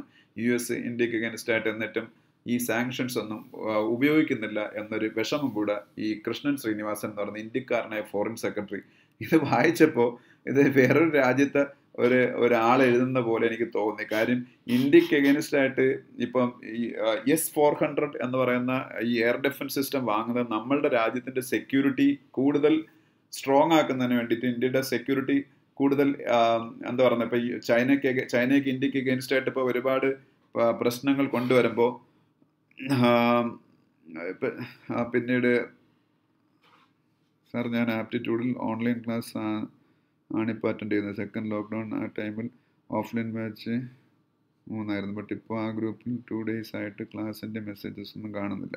ഒരു കാര്യം ചെയ്താൽ മതി ആര്യ. അത് പല ആൾക്കാരും ആ ഗ്രൂപ്പുകളിലെല്ലാം ഐഡിലായിരുന്നു അതുകൊണ്ടാണ് നമ്മളിപ്പോൾ ആ ഗ്രൂപ്പ് മാറ്റിയിട്ട് ആപ്റ്റിറ്റ്യൂഡ് പ്രാക്ടീസ് ബാച്ച് എന്ന് പറഞ്ഞപ്പോൾ ഒരു ഗ്രൂപ്പ് ക്രിയേറ്റ് ചെയ്തിട്ടുണ്ട്. അത് പിന്നെ കിരൺ സാറിന്റെ അടുത്ത് വിളിച്ച് പറഞ്ഞാൽ മതി. ഇയാൾ എന്നിട്ട് ഇമെയിൽ ഐ ഡിയും സോറി വാട്സപ്പ് നമ്പറും കൊടുത്താൽ ആ ഗ്രൂപ്പിലേക്ക് ആഡ് ചെയ്യും. അതുകൊണ്ടാണ് കാര്യം ആ ഗ്രൂപ്പുകളിലൊക്കെ നിങ്ങളെപ്പോലെ ഒന്നോ രണ്ടോ പേര് മാത്രമേ ആ ഗ്രൂപ്പുകളിലേക്ക് ഇപ്പോൾ ആക്റ്റീവ് ആയിട്ടുള്ളൂ ബാക്കി ആരും അതിനൊന്നും ആക്റ്റീവ് അല്ല അപ്പം നമ്മളിപ്പോൾ ഒരു സംഭവം പോസ്റ്റ് ചെയ്തെടുക്കുമ്പോൾ നമ്മളൊരു പത്ത് പന്ത്രണ്ട് ഗ്രൂപ്പിൽ പോസ്റ്റ് ചെയ്യേണ്ട അവസ്ഥയാണ്. എന്നാൽ പല പോസ്റ്റിലും ആൾക്കാർ റെസ്പോണ്ട് ചെയ്യുന്നില്ല അല്ല പല ഗ്രൂപ്പിലും ആൾക്കാർ റെസ്പോണ്ട് ചെയ്യുന്നില്ല അതുകൊണ്ട് മൂന്നാൽ ഗ്രൂപ്പ്സ് എടുത്ത് മെർജ് ചെയ്ത് നമ്മൾ ഒറ്റ ഗ്രൂപ്പ് ആക്കിയാണ് ചെയ്തത്. അപ്പോൾ ആരും കാര്യം ചെയ്താൽ ഒന്നുകിൽ ഈ ക്ലാസ് കഴിഞ്ഞതിന് ശേഷം എന്റെ നമ്പറിൽ വിളിക്കുക. പിന്നെ nine eight nine five four one four three zero nine എന്ന് പറയുന്ന നമ്പറിൽ വിളിക്കുക. അതല്ലെങ്കിൽ കിരണിന്റെ നമ്പറിൽ വിളിച്ച് പറഞ്ഞാലും മതി. അപ്പം അതിലേക്ക് ആഡ് ചെയ്യും. അല്ലാതെ ഈ ഗ്രൂപ്പുകളെല്ലാം കൂടെ നമുക്ക് മാനേജ് ചെയ്യാൻ ബുദ്ധിമുട്ടാണ്. ആ ഗ്രൂപ്പിൽ മിക്കുള്ളവരും ആക്റ്റീവ് അല്ല. നമ്മൾ ചെയ്യുന്ന ഒരു കാര്യം ആരും കാണുന്ന പോലും ഇല്ല. വളരെ റയർ ആയിട്ടുള്ള കുട്ടികളെ ചെയ്യുന്നുള്ളൂ. അതുകൊണ്ടാണ് ആ ഗ്രൂപ്പ് ഇതിപ്പോൾ പോസ്റ്റ് ചെയ്യാത്തത്. ഓക്കെ അപ്പോൾ എന്തായാലും ആ ഇയാളെ വിളിച്ചാൽ മതി. പ്രാക്ടീസ് മാച്ചിലെ പുതിയ ഗ്രൂപ്പ് ക്രിയേറ്റ് ഉണ്ടായാലും അതിലോട്ട് ആഡ് ചെയ്യാം. ഓക്കെ അപ്പോൾ ഓക്കെ അപ്പോൾ എന്തായാലും ഞാൻ പറഞ്ഞുകൊണ്ടിരുന്നത് പിന്നീട് അപ്പം ഈ ജോയ് ബൈഡൻ ന്റെ ഗവൺമെന്റും ഇപ്പം ഇതിലൊന്നും ഒരു ഇൻട്രസ്റ്റും കാണിക്കാതെ ഇന്ത്യയെ സപ്പോർട്ട് ചെയ്യുന്നു. അപ്പം ഈ ഒരു ആർട്ടിക്കിളിൽ എസ് ഫോർ ഹൺഡ്രഡ് എന്ന് പറഞ്ഞ സംഭവം നമ്മൾ റഷ്യയുടെ കയ്യിൽ നിന്ന് വാങ്ങിയിട്ട് ഇന്ത്യയ്ക്ക് അഗേൻസ്റ്റ് ആയിട്ട് Russia sorry U S sanctions ഏർപ്പെടുത്തേണ്ടതാണ് normally പക്ഷേ ഇന്ത്യയ്ക്ക് അഗേൻസ്റ്റ് ആയിട്ട് സാങ്ഷൻസ് ഏർപ്പെടുത്തിയില്ല. കാരണം ഇന്ത്യയ്ക്ക് ചില പ്രിഫറൻഷ്യൽ ട്രീറ്റ്മെന്റ് യു എസ് കൊടുക്കുന്നു എന്ന് ആണ് ഈ ഒരു ആർട്ടിക്കിൾ പറഞ്ഞത്. ഇത് വായിച്ചപ്പോൾ ഇതൊരു ഇന്ത്യക്കാരൻ തന്നെയാണ് എഴുതിയെന്ന് എനിക്ക് സംശയമൊന്നുമില്ല കൃഷ്ണൻ ശ്രീനിവാസ് ഇന്ത്യയുടെ സാലറി ഇന്ത്യയുടെ ടാക്സ് പേഴ്സിന്റെ മണിയും വാങ്ങി ഇന്ത്യയ്ക്ക് വേണ്ടി പണിയെടുത്ത ഒരാളാണ്. പറഞ്ഞ കുറേ കാര്യങ്ങളിലൊക്കെ സത്യമുണ്ട്. പക്ഷേ ഈ ക്രിട്ടിസൈസ് ചെയ്യാൻ വേണ്ടി ഇത്തരത്തിലുള്ള ആന്റി നാഷണൽ സ്റ്റാൻഡ് എടുക്കുന്നത് നല്ലതാണെന്ന് എനിക്ക് തോന്നുന്നില്ല. അതുപോലുള്ള ആർട്ടിക്കിൾസ് ഹിന്ദുവിൽ പബ്ലിഷ് ചെയ്യുമ്പോൾ തന്നെ എനിക്കൊരു എന്തോ പോലെ തോന്നുന്നു. കാരണം ഇന്ത്യയ്ക്ക് എഗെയിൻസ്റ്റ് ആയിട്ട് എസ് ഫോർ ഹൺഡ്രഡിന്റെ പേരിൽ റഷ്യ നമ്മൾ റഷ്യയിൽ നിന്ന് വാങ്ങുന്നതിന്റെ പേരിൽ യു എസ് നമുക്കെതിരെ ആക്ഷൻ എടുക്കണമെന്നൊരു ഇന്ത്യക്കാരൻ തന്നെ ഇന്ത്യയ്ക്ക് അതിരുന്ന് പറയുമ്പോൾ അതിന് എന്താണ് അതും ഒരു ഫോറിൻ സെക്രട്ടറി ലെവലിൽ ഇരുന്നിട്ടുള്ള ഒരാൾ പറയുമ്പോൾ അതിന് എന്താണ് അർത്ഥം എന്നെനിക്ക് മനസ്സിലാവുന്നില്ല. ഓക്കെ കാരണം ഇത് ഇന്ത്യയുടെ സെക്യൂരിറ്റിക്ക് വേണ്ടിയിട്ടാണ്. കാര്യം ഇന്ത്യയുടെ സെക്യൂരിറ്റിക്ക് വേണ്ടിയിട്ട് ഇത്തരത്തിലുള്ളൊരു ആയുധത്തിന്റെ ആവശ്യം നമുക്കുണ്ട്. പ്രത്യേകിച്ച് ചൈനയുടെ കയ്യിൽ എസ് ഫോർ ഹൺഡ്രഡ് ഉണ്ട്. ചൈന ഓൾറെഡി റഷ്യയുടെ കയ്യിൽ നിന്ന് വാങ്ങിക്കഴിഞ്ഞു. ഇന്ത്യ വാങ്ങിയതിനേക്കാളും എണ്ണം കൂടുതൽ വാങ്ങിക്കഴിഞ്ഞു. അപ്പൊ നമുക്ക് നമ്മളുടെ സെക്യൂരിറ്റി എൻഷുർ ചെയ്യുമ്പോൾ യു എസ് നമുക്ക് സ്റ്റേറ്റ് സാങ്ഷൻ ഏർപ്പെടുത്തണമെന്ന് ഒരു നാഷണൽ ന്യൂസ് പേപ്പറിന്റെ എഡിറ്റോറിയൽ പേജിൽ ഒരു ആർട്ടിക്കിൾ മുഖേന ഒരു ഇന്ത്യക്കാരൻ തന്നെ അതും റെസ്പോൺസിബിൾ പൊസിഷനിൽ ഇന്ത്യയുടെ പിന്നെ ഇന്ത്യയുടെ ഫോറിൻ സെക്രട്ടറി വരെ ആയിട്ടിരുന്ന ഒരാൾ പറയുമ്പോൾ അതിന് അത് അത് പബ്ലിഷ് ചെയ്യാൻ വേണ്ടിയിട്ട് സ്പേസ് കൊടുക്കുന്ന ഈ ഹിന്ദുവിന്റെ ആ ഒരു മാനസികാവസ്ഥയോട് എനിക്ക് എനിക്ക് സത്യത്തിൽ എന്തോ തോന്നുന്നു. നല്ലൊരു പത്രമാണ്. നമ്മൾ പഠിക്കാൻ വേണ്ടിയിട്ട് ഉപയോഗിക്കുന്ന പത്രമാണ്. ആ പത്രം നിങ്ങളെ ഞാൻ പഠിപ്പിക്കുന്നത് ഇത് വെച്ചാണ്. നാളെ ഞാൻ നിങ്ങളത് ഇത് വെച്ചേ പഠിപ്പിക്കുകയുള്ളൂ. പക്ഷേ ഇതുപോലുള്ള കാര്യങ്ങൾ ചെയ്യുന്നത് ശരിയല്ലെന്ന് എന്റെ വിശ്വാസം. Saranya Unni good afternoon good afternoon okay അപ്പൊ ഇതാണ് ഇതിൽ മുഴുവനും പറയുന്നത്. എന്തായാലും ഇന്ത്യയ്ക്ക് അഗൻസ്റ്റ് ആയിട്ട് മാത്രമല്ല ഇതിൽ പല കാര്യങ്ങളും ഇതിൽ പറയുന്നുണ്ട്. ഖത്തർ എന്ന് പറയുന്ന രാജ്യത്തിന് യു എസ് സപ്പോർട്ട് ചെയ്യുന്നു. ഖത്തറിൽ കുറെ വിഷയങ്ങളുണ്ട്. പിന്നീട് ഖത്തറിലെ യാതൊരു വിധത്തിലുള്ള ഡെമോക്രസി ഇല്ല. അതൊരു ഡെമോക്രസി ഇല്ല നമുക്കറിയാം. ഖത്തർ സ്വാഭാവികമായിട്ട് ഒരു മൊണാർക്കിയാണ് അപ്പം എന്നിട്ട് ഖത്തറിനെ യു എസ് സപ്പോർട്ട് ചെയ്യുന്നു. അതുപോലെ യു എസിൽ നടന്ന പിന്നീട് ഡെമോക്രസി സമ്മിറ്റിൽ ഡെമോക്രസിക്ക് ഒരു വാല്യൂം കൊടുക്കാത്ത എന്നാൽ ഡെമോക്രാറ്റിക് എന്ന് പറഞ്ഞ അറിയപ്പെടുന്ന പല രാജ്യങ്ങളെയും പിന്നീട് അവർ അറ്റൻഡ് ചെയ്യിച്ചു. യു എസിന്റെ ഇപ്പം ജോസ് ജോയ് ബൈഡന്റെ നേതൃത്വത്തിൽ ഇപ്പോൾ ഒരു ഒരു ഡെമോക്രസി സമ്മിറ്റ് നടന്നായിരുന്നു. അപ്പൊ ആ പറഞ്ഞതിലൊക്കെ ശരിയുണ്ട്. കാരണം ബംഗ്ലാദേശ് പോലുള്ള ചില രാജ്യങ്ങൾ അവിടെ നല്ല ഒരുവിധം നല്ല നല്ല ഡെമോക്രസി എന്നൊന്നും പറയാൻ പറ്റില്ല എല്ലായിടത്തും ഡെമോക്രസിയിൽ പ്രോബ്ലംസ് ഉണ്ട്. യു എസിലെ ഡെമോക്രസിയിൽ പോലും പ്രോബ്ലം ഉണ്ട്. യു എസിൽ ഇപ്പോൾ ഒരുപാട് ഹ്യൂമൻ റൈറ്റ്സ് വയലേഷൻസ് നടക്കുന്നുണ്ട്. മറ്റു രാജ്യങ്ങളിലെ ഹ്യൂമൻ റൈറ്റ്സ് വയലേഷൻസിനെ കുറിച്ച് കമന്ററി പറയുന്ന യു എസിലാണ് കറുത്ത വർഗക്കാരായിട്ടുള്ള ബ്ലാക്ക് ആയിട്ടുള്ള പല ആൾക്കാരെയും ഫ്ലോയിഡ് മൈവെതറെ പോലുള്ള പല ആൾക്കാരെയും കില്ല് ചെയ്തത് ഈ റീസെന്റ് ആയിട്ട് തന്നെ. അപ്പം ഡെമോക്രസിയെ കുറിച്ചോ ഹ്യൂമൻ റൈറ്റ്സിനെ കുറിച്ചുള്ള വാദങ്ങൾ ഉന്നയിക്കുമ്പോൾ വേൾഡിലെ ഏറ്റവും ഹെൽത്തിയസ്റ്റ് ഡെമോക്രസി എന്ന് സ്വയം അവകാശപ്പെടുന്ന യു എസിന് പോലും പലപ്പോഴും അവർക്ക് പോലും അവരുടെ പ്യുവറായിട്ട് എല്ലാ ഇന്നിക്വാലിറ്റീസും ഒന്നും ഇല്ലാത്ത ഒരു ക്ലിയർ ഡെമോക്രസി ആണെന്ന് പറയാൻ പറ്റത്തില്ല. അപ്പം എന്തായാലും പുള്ളി ഇപ്പം ഈ കൃഷ്ണൻ ശ്രീനിവാസൻ ലോകത്ത് നടക്കുന്ന സകല കാര്യങ്ങളുടെയും പേരിൽ പല രാജ്യങ്ങളെയും വിമർശിച്ചിട്ടുണ്ട്. അവസാനം യു എസിനെയും പറയുന്നുണ്ട് അവിടെ. അപ്പം പിന്നെ ആരാണ് പെർഫെക്റ്റ് എന്നാണ് എനിക്ക് അറിഞ്ഞില്ലാത്ത എന്തായാലും ആ ഒരു ആർട്ടിക്കിൾ നിങ്ങൾ താല്പര്യമായിട്ട് വായിച്ചു നോക്ക്. പക്ഷേ അല്ല ചില പോയിന്റുകളെങ്കിലും ആന്റി ഇന്ത്യ പോയിന്റ്സ് ആണെന്ന് എനിക്ക് തോന്നി എന്തായാലും. ഓക്കെ പിന്നീട്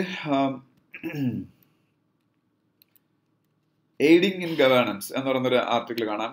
അത് നല്ലൊരു ആർട്ടിക്കിളാണ് കേട്ടോ. The synergy of N G Os government and corporates is the holy grail of development എന്ന് പറയുന്നൊരു സംഭവം. കാര്യം അത് ഈ മോഡി ഗവൺമെന്റിന്റെ ഇപ്പോഴത്തെ F C R I licence റിന്യൂവലുമായിട്ടൊക്കെ ബന്ധപ്പെട്ട് എൻ ജി ഒസ് വളരെ വാർത്തകളിൽ വന്നൊരു സമയമാണ്.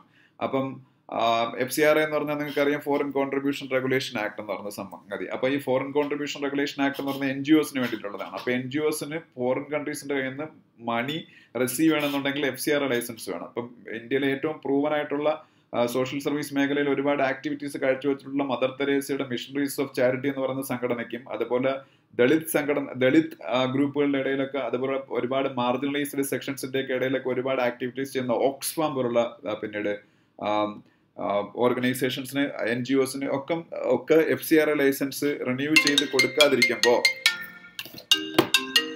ഒരുപാട് പിന്നെ F C R A licence renew ചെയ്ത് കൊടുക്കാതിരിക്കുമ്പോൾ ഒരുപാട് എൻ ജി ഒസിന് ഇന്ത്യയിൽ പ്രവർത്തനം മുന്നോട്ട് കൊണ്ടുപോകാൻ ബുദ്ധിമുട്ട് നേരിടുന്നു. അപ്പോൾ എൻ ജി ഒ ഏതൊക്കെ രീതിയിലാണ് ഇന്ത്യ എന്ന് പറയുന്ന കൺട്രിക്ക് യൂസ്ഫുൾ ആയിരിക്കുന്നത് എന്ന് ലിജോ ചാക്കോ ഇവിടെ ഒരു ആർട്ടിക്കിൾ മുഖേന വ്യക്തമാക്കുകയാണ്. ഇപ്പം അതിൽ പുള്ളി പറയുന്ന ഒരു കാര്യം എന്ന് വെച്ചാൽ ഇപ്പൊ തന്നെ നമ്മുടെ ഇന്ത്യയിൽ C C S R activities നടക്കുന്നുണ്ട് ഒരുപാട്. C S R means corporate social responsibility C S R എന്ന് പറഞ്ഞാൽ കോർപ്പറേറ്റ് സോഷ്യൽ റെസ്പോൺസിബിലിറ്റി ആണ്. കോർപ്പറേറ്റ് സോഷ്യൽ റെസ്പോൺസിബിലിറ്റി അല്ലെങ്കിൽ സി എസ് ആർ എന്താണ് എന്ന് ചോദിച്ചാൽ ഇന്ത്യയിൽ പ്രവർത്തിക്കുന്ന കമ്പനീസ് അവരുടെ പ്രോഫിറ്റ് ഗവൺമെന്റ് പറഞ്ഞേക്കുന്ന ഒരു കട്ട് ഓഫ് ലിമിറ്റ് കൂടുതലാവുമ്പോൾ അവരുടെ പ്രോഫിറ്റിന്റെ ടു പെർസെന്റേജ് കൂടുതൽ ടു പെർസെന്റേജ് മിനിമം നമ്മുടെ സൊസൈറ്റിക്ക് വേണ്ടി സ്പെൻഡ് ചെയ്യണം. സൊസൈറ്റിയുടെ വെൽബീങ്ങിന് വേണ്ടി സ്പെൻഡ് ചെയ്യണം. അപ്പൊ ടാറ്റയും റിലയൻസും വിപ്രോയും ഇൻഫോസിസും ഒക്കെ ഓരോ ഫൗണ്ടേഷൻസ് ഒക്കെ അവർക്ക് സ്വന്തമായിട്ടുണ്ട്. ഇൻഫോസിസിന് ഇൻഫോസിസ് ഫൗണ്ടേഷൻ ഉണ്ട്. ടാറ്റയ്ക്ക് ടാറ്റ ട്രസ്റ്റ് ഉണ്ട്. റിലയൻസിനും അതുപോലെ ഒരു സംഭവമുണ്ട്. റിലയൻസ് സംതിങ് എന്ന് പറഞ്ഞ പേരിൽ റിലയൻസ് ഫൗണ്ടേഷൻ എന്നാണെന്ന് തോന്നുന്നു. ഇതൊക്കെ മുഖേന അവർ അവരുടെ സി എസ് ആർ ആക്ടിവിറ്റീസ് നടത്തുന്നു. കോർപ്പറേറ്റ് സോഷ്യൽ റെസ്പോൺസിബിലിറ്റി ആക്ടിവിറ്റീസ് നടത്തുന്നു. പക്ഷേ എല്ലാ വലിയ കമ്പനീസിനും അങ്ങനെ സി എസ് ആർ ആമൊന്നുമില്ല അപ്പം അവരവരുടെ C S R activities through പല എൻ ജി ഒസും ആണ് നടപ്പാക്കുന്നത്. അപ്പം സി എസ് ആർ ആക്ടിവിറ്റീസ് നടപ്പാ നടപ്പാക്കാൻ വേണ്ടി എൻ ജി ഒസുമായിട്ട് ടൈ അപ്പിൽ കമ്പനീസിന് അവരുടെ മണി ഇഫക്റ്റീവ്ലി സമൂഹത്തിന് വേണ്ടി സ്പെൻഡ് ചെയ്യാൻ പറ്റുന്നു. അതുപോലെ തന്നെ നമ്മുടെ ബ്യൂറോക്രസിയുടെ കയ്യിലെ കുഴപ്പം കൊണ്ട് പലപ്പോഴും നമ്മളുടെ പല ആനുകൂല്യ ആനുകൂല്യങ്ങളും നമ്മളുടെ എൻഡ് അത് ബെനിഫിഷ്യറിക്ക് പലപ്പോഴും കിട്ടാൻ താമസം ഉണ്ടാകുമ്പോൾ എൻ ജി ഒസ് ആണ് ഇതിൽ ഇടപെട്ട് ലാസ്റ്റ് മൈൽ ഡെലിവറി എൻഷുർ ചെയ്യുന്നത്. അപ്പം അങ്ങനെ അതുപോലെ സെൻട്രൽ ഗവൺമെന്റ് തന്നെ പല സ്കീമുകളുടെയും പിന്നീട് ജനങ്ങളുടെ ഇടയിലുള്ള ഏറ്റവും പിന്നീട് പോപ്പുലറൈസ് ചെയ്യാനും അവർക്ക് അതിന്റെ ബെനിഫിറ്റ് നേടിക്കൊടുക്കാനും ഒക്കെ മുന്നിൽ നിൽക്കുന്നത് നല്ല പല എൻ ജി ഒസും ആണ്. അപ്പം അതുപോലെ റൈറ്റ് ടു ഇൻഫർമേഷൻ എന്ന് പറയുന്നൊരു സംഭവമുണ്ട്. നമുക്ക് എല്ലാവർക്കും അറിയാം. വിവരാവകാശ നിയമം. അത് മൻമോഹൻ സിംഗിന്റെ പീരീഡിൽ വന്നൊരു നിയമമാണ്. ആ നിയമം ഇന്ത്യയിൽ കറപ്ഷൻ എലിമിനേറ്റ് ചെയ്യാൻ ഒരു പരിധിവരെ സഹായിച്ചിട്ടുള്ളൊരു നിയമമാണ്. ആ നിയമം ഉപയോഗിച്ച് പല കാര്യങ്ങളും സാധാരണക്കാരന് നേടിക്കൊടുക്കുന്നത് ഒരുപാട് എൻ ജി ഒസ് ആണ്. അങ്ങനെ എൻ ജി ഒസും സിവിൽ സൊസൈറ്റി ഓർഗനൈസേഷൻസും ഗവൺമെന്റും എല്ലാവരും കൂടെ ഒരുമിച്ച് കോർപ്പറേറ്റ്സും കോർപ്പറേറ്റ് എന്ന് ഉദ്ദേശിക്കുന്ന വലിയ കമ്പനികൾ ഈ കമ്പനികൾ എല്ലാവരും കൂടെ ഒരുമിച്ച് തോളോട് തോൾ നിന്ന് പ്രവർത്തിച്ചെങ്കിൽ മാത്രമേ യഥാർത്ഥ ഡെവലപ്മെന്റ് പൂർണമാവുകയുള്ളൂ എന്ന്. അതുകൊണ്ട് തന്നെ N G ഒസും civil service sorry civil society ഓർഗനൈസേഷൻസും ഒക്കെ നമുക്ക് എപ്പോഴും വേണ്ടതാണ് എന്നും ഒക്കെയാണ് ഈ ലിജോ ചാക്കോ ഈ ഒരു ആർട്ടിക്കിളിൽ പറയുന്നത്. വായിച്ചു നോക്കിയാൽ പിന്നെ ദ ഡെഫനിങ് സൈലൻസ് ഓഫ് സൈ സയന്റിസ്റ്റ് എന്ന് പറയുന്ന ഒരു ആർട്ടിക്കിൾ കാണാം. അത് സി പി രാജേന്ദ്ര രാജേന്ദ്രൻ എന്ന് പറയുന്ന ഒരാൾ എഴുതിയാണ്. അതിന് കണ്ടന്റ് വേറെ ഒന്നുമല്ല ഇപ്പൊ ഇന്ത്യയിൽ പലപ്പോഴും സ്യൂഡോ സയൻസ് എന്ന് പറയുന്നൊരു സംഭവം ത്തിനൊരു പ്രോമിനൻസ് ചില വേദികളിലെങ്കിലും വരുന്നു. സ്യൂഡോ സയൻസ് എന്ന് വെച്ചാൽ ഇല്ലാത്ത സയന്റിഫിക് ആയിട്ടുള്ള പിന്നീട് കാര്യങ്ങൾ അല്ലെങ്കിൽ അൺസയന്റിഫിക് ആയിട്ടുള്ള പല കാര്യങ്ങളും സയൻ സയൻസിന്റെ ഭാഗം എന്നുള്ള രീതിയിൽ അവതരിപ്പിക്കുകയും അത് ജന നമ്മളെ കൺവിൻസ് ചെയ്യുന്ന രീതിയിൽ ജനങ്ങളുടെ ഇടയിലേക്ക് എത്തിക്കാൻ ശ്രമിക്കുകയും അങ്ങനെ സയൻസിന്റെ ഒരു നാച്ചുറൽ ഗ്രോത്തിന് തടസ്സം സൃഷ്ടിക്കുകയും ചെയ്യുന്നതാണ് സ്യൂഡോ സയൻസ് എന്ന് പറയുന്നത്. ഇപ്പം തന്നെ നമ്മളുടെ ഇപ്പം ഈ ഇടയ്ക്ക് നടന്ന ഈയിടയ്ക്കല്ല ഒരു ആറേഴ് വർഷം മുമ്പ് രണ്ടായിരത്തി പതിനഞ്ച് സമയത്തൊക്കെ നടന്ന ഒരു ഇന്ത്യൻ സയൻസ് കോൺഗ്രസ്സിൽ ചില പ്രബന്ധങ്ങളൊക്കെ അവതരിപ്പിക്കപ്പെട്ടപ്പോൾ ആ പ്രബന്ധങ്ങളിലൊക്കെ പല നമ്മളുടെ ഏൻഷ്യന്റ് ഇന്ത്യയിൽ പല കാര്യങ്ങളും ഉണ്ടായിരുന്നു. ഏൻഷ്യന്റ് ഇന്ത്യയിൽ പ്ലെയിൻസ് ഉണ്ടായിരുന്നു. പിന്നീട് അല്ലെങ്കിൽ അങ്ങനെയൊക്കെ പറഞ്ഞ് കുറേ അവകാശവാദങ്ങളും ചില പേപ്പർ പ്രസന്റേഷൻസും ഒക്കെ നടന്നു. അപ്പം അതിനെ പോലും നമ്മളുടെ ഇന്ത്യയിൽ ഇപ്പോഴത്തെ സയന്റിസ്റ്റുകളിൽ ഒരു വലിയ വിഭാഗം ക്രിട്ടിസൈസ് ഒന്നും ചെയ്യാതെ സൈലന്റ് ആവുന്നു. അപ്പം അതുകൊണ്ട് തന്നെ ഇത്തരത്തിലുള്ള സയൻസിന് എഗെയിൻസ്റ്റ് ആയിട്ട് നിൽക്കുന്ന സ്യൂഡോ സയന്റിഫിക് ആയിട്ടുള്ള കാര്യങ്ങൾ സ്പ്രെഡ് ചെയ്യപ്പെടുന്നു എന്നുള്ള രീതിയിൽ ഉള്ള ഒരു ആർട്ടിക്കിളാണ് the deafening silence of scientist എന്ന് പറയുന്ന ആർട്ടിക്കിൾ അപ്പോൾ സയന്റിസ്റ്റുകൾ പലപ്പോഴും അവർക്ക് കിട്ടുന്ന ആനുകൂല്യങ്ങളും ഒക്കെ നഷ്ടപ്പെടും. അല്ലെങ്കിൽ ഗവൺമെന്റ് കണ്ണിൽ കരടാവും എന്നൊക്കെ പേടിച്ചിട്ട് ഇതുപോലുള്ള സ്യൂഡോ സയന്റിഫിക് ആയിട്ടുള്ള കാര്യങ്ങൾ സ്പ്രെഡ് ചെയ്യാൻ ശ്രമിക്കുന്ന ആൾക്കാർ പിന്നീട് ഡിഫൻ പിന്നെ ഡിഫൻ അല്ല സോറി പിന്നീട് അവരെ പിന്നീട് പ്രതിരോധിക്കാൻ ശ്രമിക്കുന്നില്ല. അവരെ സപ്പോർട്ട് ചെയ്യുന്നതല്ല പക്ഷെ പലപ്പോഴും സൈലന്റ് ആണ്. അതാണ് ഡെഫനിക് സൈലൻസ് ഓഫ് സയന്റിസ്റ്റ് എന്ന് പറയുന്ന ആർട്ടിക്കിൾ വഴി പിന്നീട് ഈ ഒരു ഓദർ സമർത്ഥിക്കുന്ന കാര്യം. പിന്നെ ലാസ്റ്റിൽ സ്റ്റേറ്റ് ഓഫ് പ്ലേ തമിഴ്നാട് എന്ന് പറഞ്ഞ സ്റ്റേറ്റിനെ കുറിച്ച്. ഓക്കെ ഇത്രയാണ് നമ്മളുടെ ആ രണ്ട് പേജുകളിലുള്ള അപ്പോൾ ഇത് നിങ്ങൾ ഈ ആർട്ടിക്കിൾസ് ഒക്കെ നന്നായിട്ട് വായിച്ചു നോക്കുക എഡിറ്റോറിയൽസ് നന്നായിട്ട് വായിച്ചു നോക്കുക. അത് കഴിയുമ്പോൾ എട്ടാമത്തെ പേജ്. എട്ടാമത്തെ പേജിൽ Centre seeks urgent listing of E W S reservation case today E W S reservation case ഞാൻ ഇന്നലെയും പറഞ്ഞാണ് E W economic weaker economically weaker sections ആയിട്ടുള്ള ആൾക്കാർക്ക് ഇന്ത്യയിൽ ഒരു കോൺസ്റ്റിറ്റ്യൂഷണൽ അമെൻമെന്റ് വഴി നൂറ്റി മൂന്നാം കോൺസ്റ്റിറ്റ്യൂഷണൽ അമെൻമെന്റ് ആയിരുന്നാണ് എന്റെ ഓർമ്മ. അതുവഴി പത്ത് ശതമാനം റിസർവേഷൻ ഏർപ്പെടുത്തിയിട്ടുണ്ട്. ആ പത്ത് ശതമാനം റിസർവേഷന് വേണ്ടിയിട്ടുള്ള ഇൻകം ലിമിറ്റ് എട്ട് ലക്ഷമായിട്ട് പിന്നീട് ഫിക്സ് ചെയ്തു. അപ്പോൾ അതിന് എത്രയും പെട്ടെന്ന് സുപ്രീം കോടതി ഈ പറഞ്ഞ കേസ് ക്ലോസ് ചെയ്യണം എന്നാലേ നീറ്റ് പി ജിയുടെയൊക്കെ അഡ്മിഷൻസ് നടത്താൻ പറ്റും. അത് നടക്കാത്തതുകൊണ്ട് റെസിഡന്റ് ഡോക്ടേഴ്സൊക്കെ ഡൽഹിയിലൊക്കെ ഇപ്പോൾ ഭയങ്കര സ്ട്രൈക്കിലാണ് അപ്പം അതിനെക്കുറിച്ച് ഉള്ള ഒരു ന്യൂസാണത് okay hundred and third constitutional അമെൻമെന്റ് ആണെന്നാണ് എന്റെ വിശ്വാസം. ഞാൻ ഇന്നലെ അത് പറഞ്ഞായിരുന്നു. എന്റെ ഓർമ്മിച്ചിട്ടാണെങ്കിൽ നൂറ്റി മൂന്നാമത് കോൺസ്റ്റിറ്റ്യൂഷണൽ അമെൻമെന്റ് ആണ്. ഈ പത്ത് ശതമാനം reservation for economically weaker sections okay പിന്നെ charge sheet filed in Lakhimpur Kheri Kheri case അത് നമുക്കറിയാം. മറ്റേ ഫാമേഴ്സിന്റെ ഇടയിലേക്ക് വണ്ടി ഇടിച്ച് കയറ്റിയ കേസ് അതിൽ ചാർജ് ഷീറ്റ് ഫയൽ ചെയ്തു. പിന്നെന്താണ്? പിന്നെ Bulandshahr lynching serious supreme കോടതി. അതായത് ലിഞ്ചിങ് ആയിട്ട് ബന്ധപ്പെട്ട കേസ് അതൊന്നും പറയാനില്ല. L E T commander killed says police അത് കാശ്മീരിൽ എൽ ഇ ടി എന്ന് പറഞ്ഞൊരു സംഘടന ആക്റ്റീവാണ് ലഷ്കർ ഇ തോയ്ബ. അപ്പോൾ അതിന്റെ ഒരു കമാൻഡറിനെ ഇന്നലെ കില്ല് ചെയ്തു നമ്മളുടെ സെക്യൂരിറ്റി ഫോഴ്സസ് അത് വേറെ ന്യൂസ് അമിത് ഷാ ഇന്ത്യയുടെ home minister review security challenges ഇന്ത്യയുടെ സെക്യൂരിറ്റി ചലഞ്ചസ് എന്തൊക്കെയാണെന്നുള്ളതിനെ കുറിച്ച് റിവ്യൂ അദ്ദേഹം നടത്തിയെന്നാണ്. പിന്നെ ഫോർ അഡീഷണൽ ഹൈക്കോടതി ജഡ്ജസ് മെയ്ഡ് പെർമനന്റ് ആണ് വേണ്ട edtech regulation policy on the cards education minister ഇന്ത്യയുടെ എഡ്യൂക്കേഷൻ മിനിസ്റ്റർ ധർമ്മേന്ദ്ര പ്രധാൻ ഒരു സ്റ്റേറ്റ്മെന്റ് പറഞ്ഞിരിക്കുന്നു. ഇന്ത്യയുടെ എഡ്യൂക്കേഷൻ മിനിസ്റ്റർ ധർമ്മേന്ദ്ര പ്രധാൻ എന്താ അത് എന്താണ് നമ്മളുടെ എടെക് എടെക് എന്ന് പറഞ്ഞാൽ എഡ്യൂക്കേഷൻ ടെക്നോളജി കമ്പനീസ് അതായത് ഇപ്പോൾ ബൈജൂസ് അൺ അക്കാഡമി എന്നൊക്കെ പറയുന്ന കമ്പനീസ് ഇല്ലേ? അവരെയാണ് edtech companies education technology companies എന്ന് പറയുന്ന അവരെ റെഗുലേറ്റ് ചെയ്യുന്നതിന് വേണ്ടിയിട്ടുള്ള നടപടിക്രമങ്ങൾ ministry of ഇൻഫ് electro electronics and information technology ടെക്നോളജിയുമായിട്ട് ചേർന്ന് ഉടനെ തന്നെ എഡ്യൂക്കേഷൻ മിനിസ്ട്രി കൊണ്ടുവരും എന്നാണ് പറഞ്ഞിരിക്കുന്നത് ധർമ്മേന്ദ്ര പ്രധാൻ. ഓക്കെ അപ്പം അതൊരു ന്യൂസായിട്ട് ഒന്ന് വായിച്ചു പഠിച്ചേക്കണം.